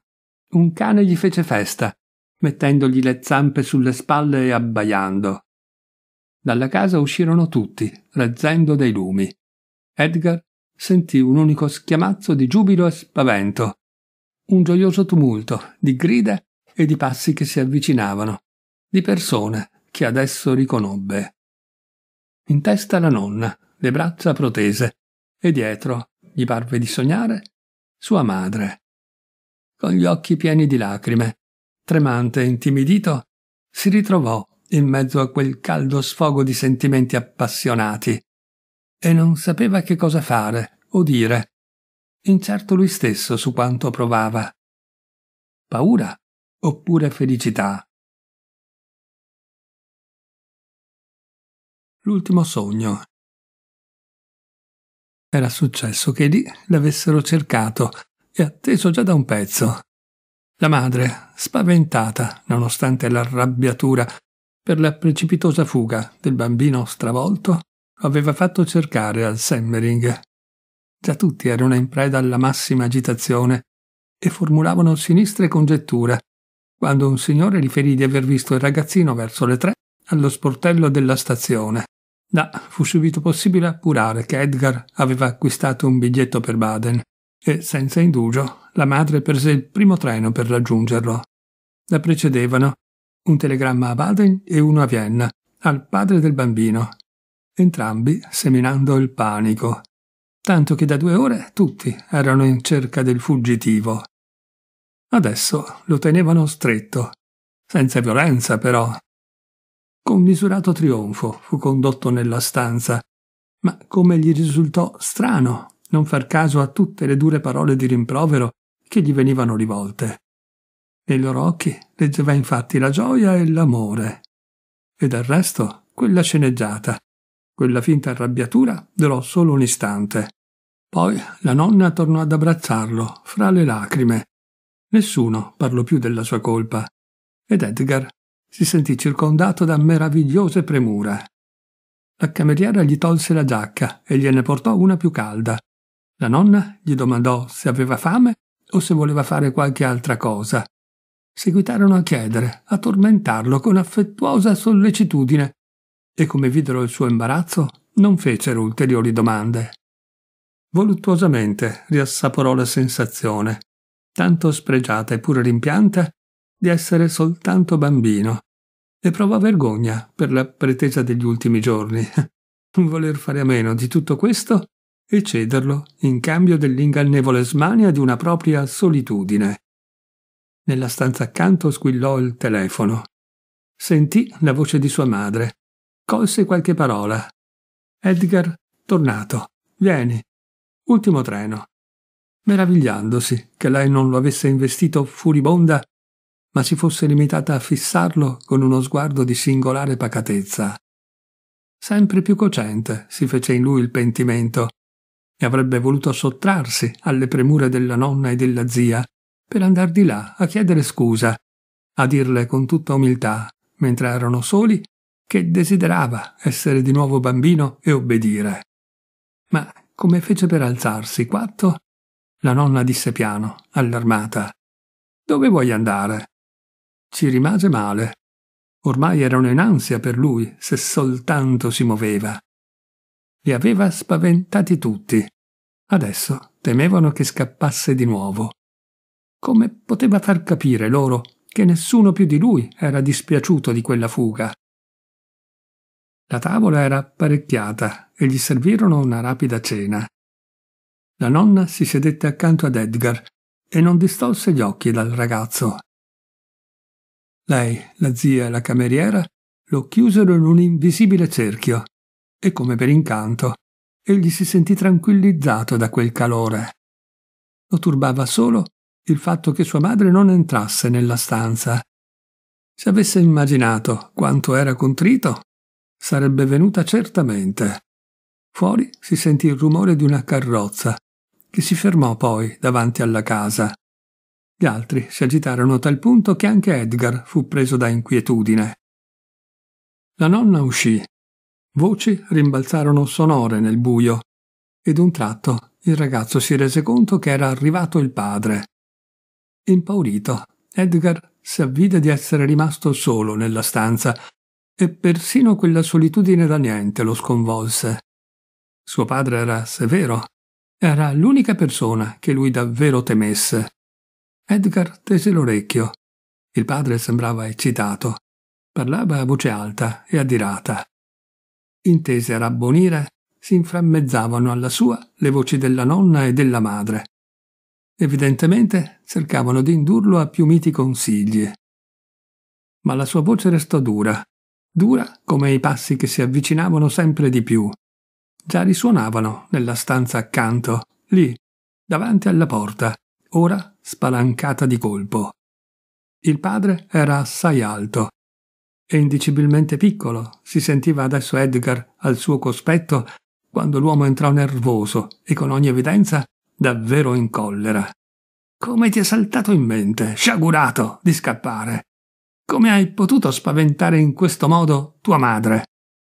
La sua voce era irosa e le mani si agitavano furibonde.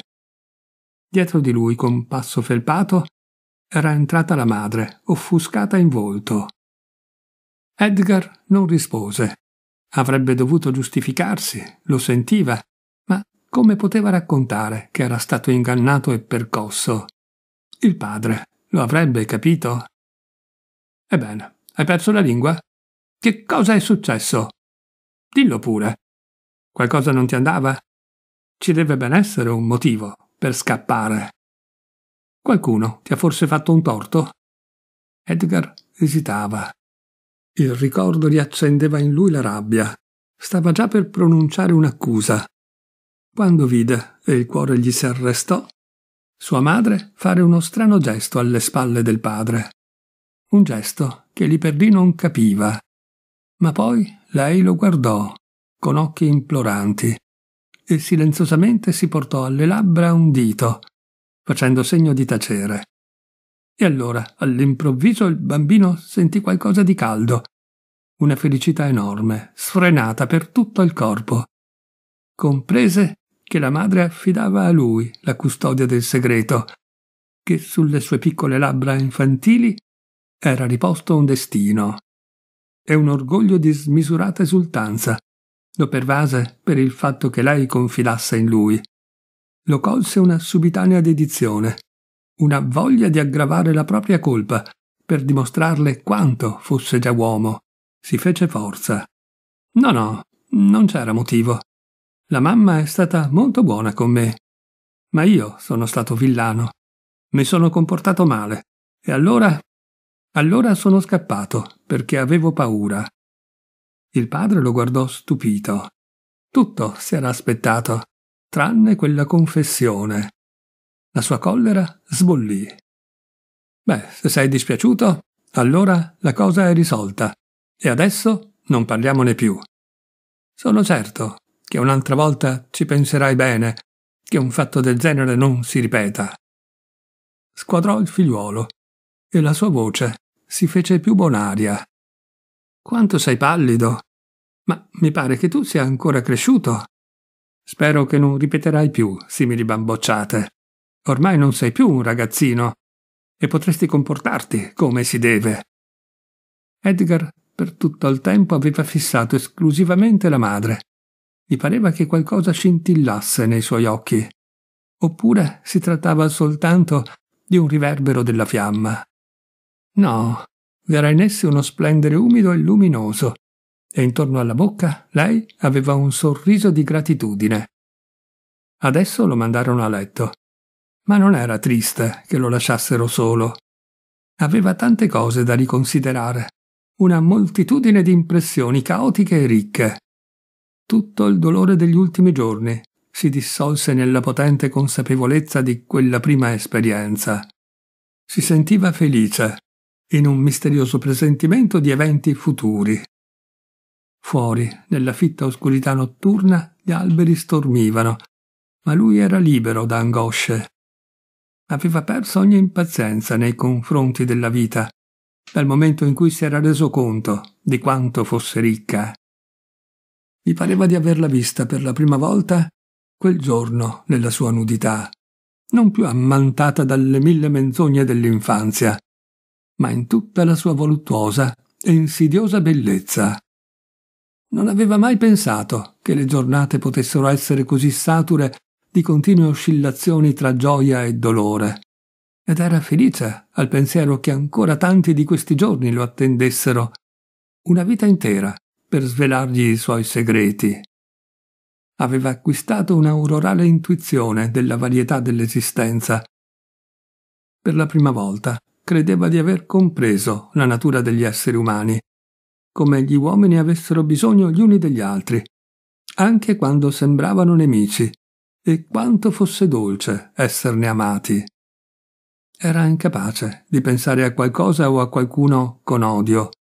Non recriminava nulla e per lo stesso barone seduttore, il suo acerrimo nemico, provava un sentimento nuovo, di gratitudine, perché gli aveva schiuso la porta su questo mondo dei primi sentimenti.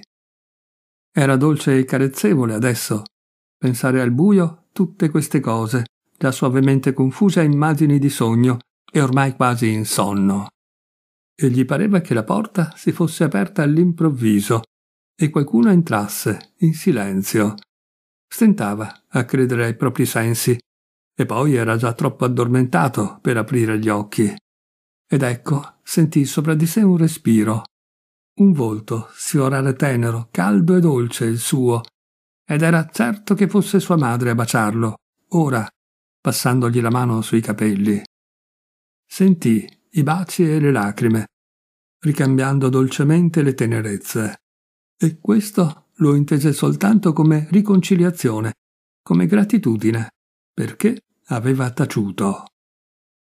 Solo più tardi, molti anni dopo, riconobbe in quelle lacrime silenziose una solenne promessa da parte della donna avviata al declino. La promessa di appartenere in futuro unicamente a lui, al suo figliuolo. Una rinuncia all'avventura, un addio a tutte le proprie concupiscenze. Non sapeva che anche lei gli era grata per essere sfuggita a una sterile avventura e che ora, con quell'abbraccio, gli lasciava il dolce amaro fardello dell'amore come un retaggio per la vita futura. Tutto ciò il bambino di allora non lo comprese, ma sentì che era molto esaltante essere amati in quel modo e che attraverso questo amore era già coinvolto nel grande segreto del mondo. Quando poi la madre ritrasse la mano, staccando le labbra da quelle di lui, e la silenziosa presenza si dileguò, rimase ancora un calore, un alito sulle labbra del bambino. E carezzevole lo pervase il desiderio di sentire ancora e spesso labbra così morbide e di essere abbracciato così teneramente. Ma l'acuto presentimento del tanto agognato segreto era già circonfuso dalle ombre del sonno. Ancora una volta gli passarono davanti vivide le immagini delle ultime ore. Ancora una volta si spalancò seducente il libro della sua giovinezza. Poi il bambino si addormentò ed ebbe inizio il sogno della sua vita, più profondo,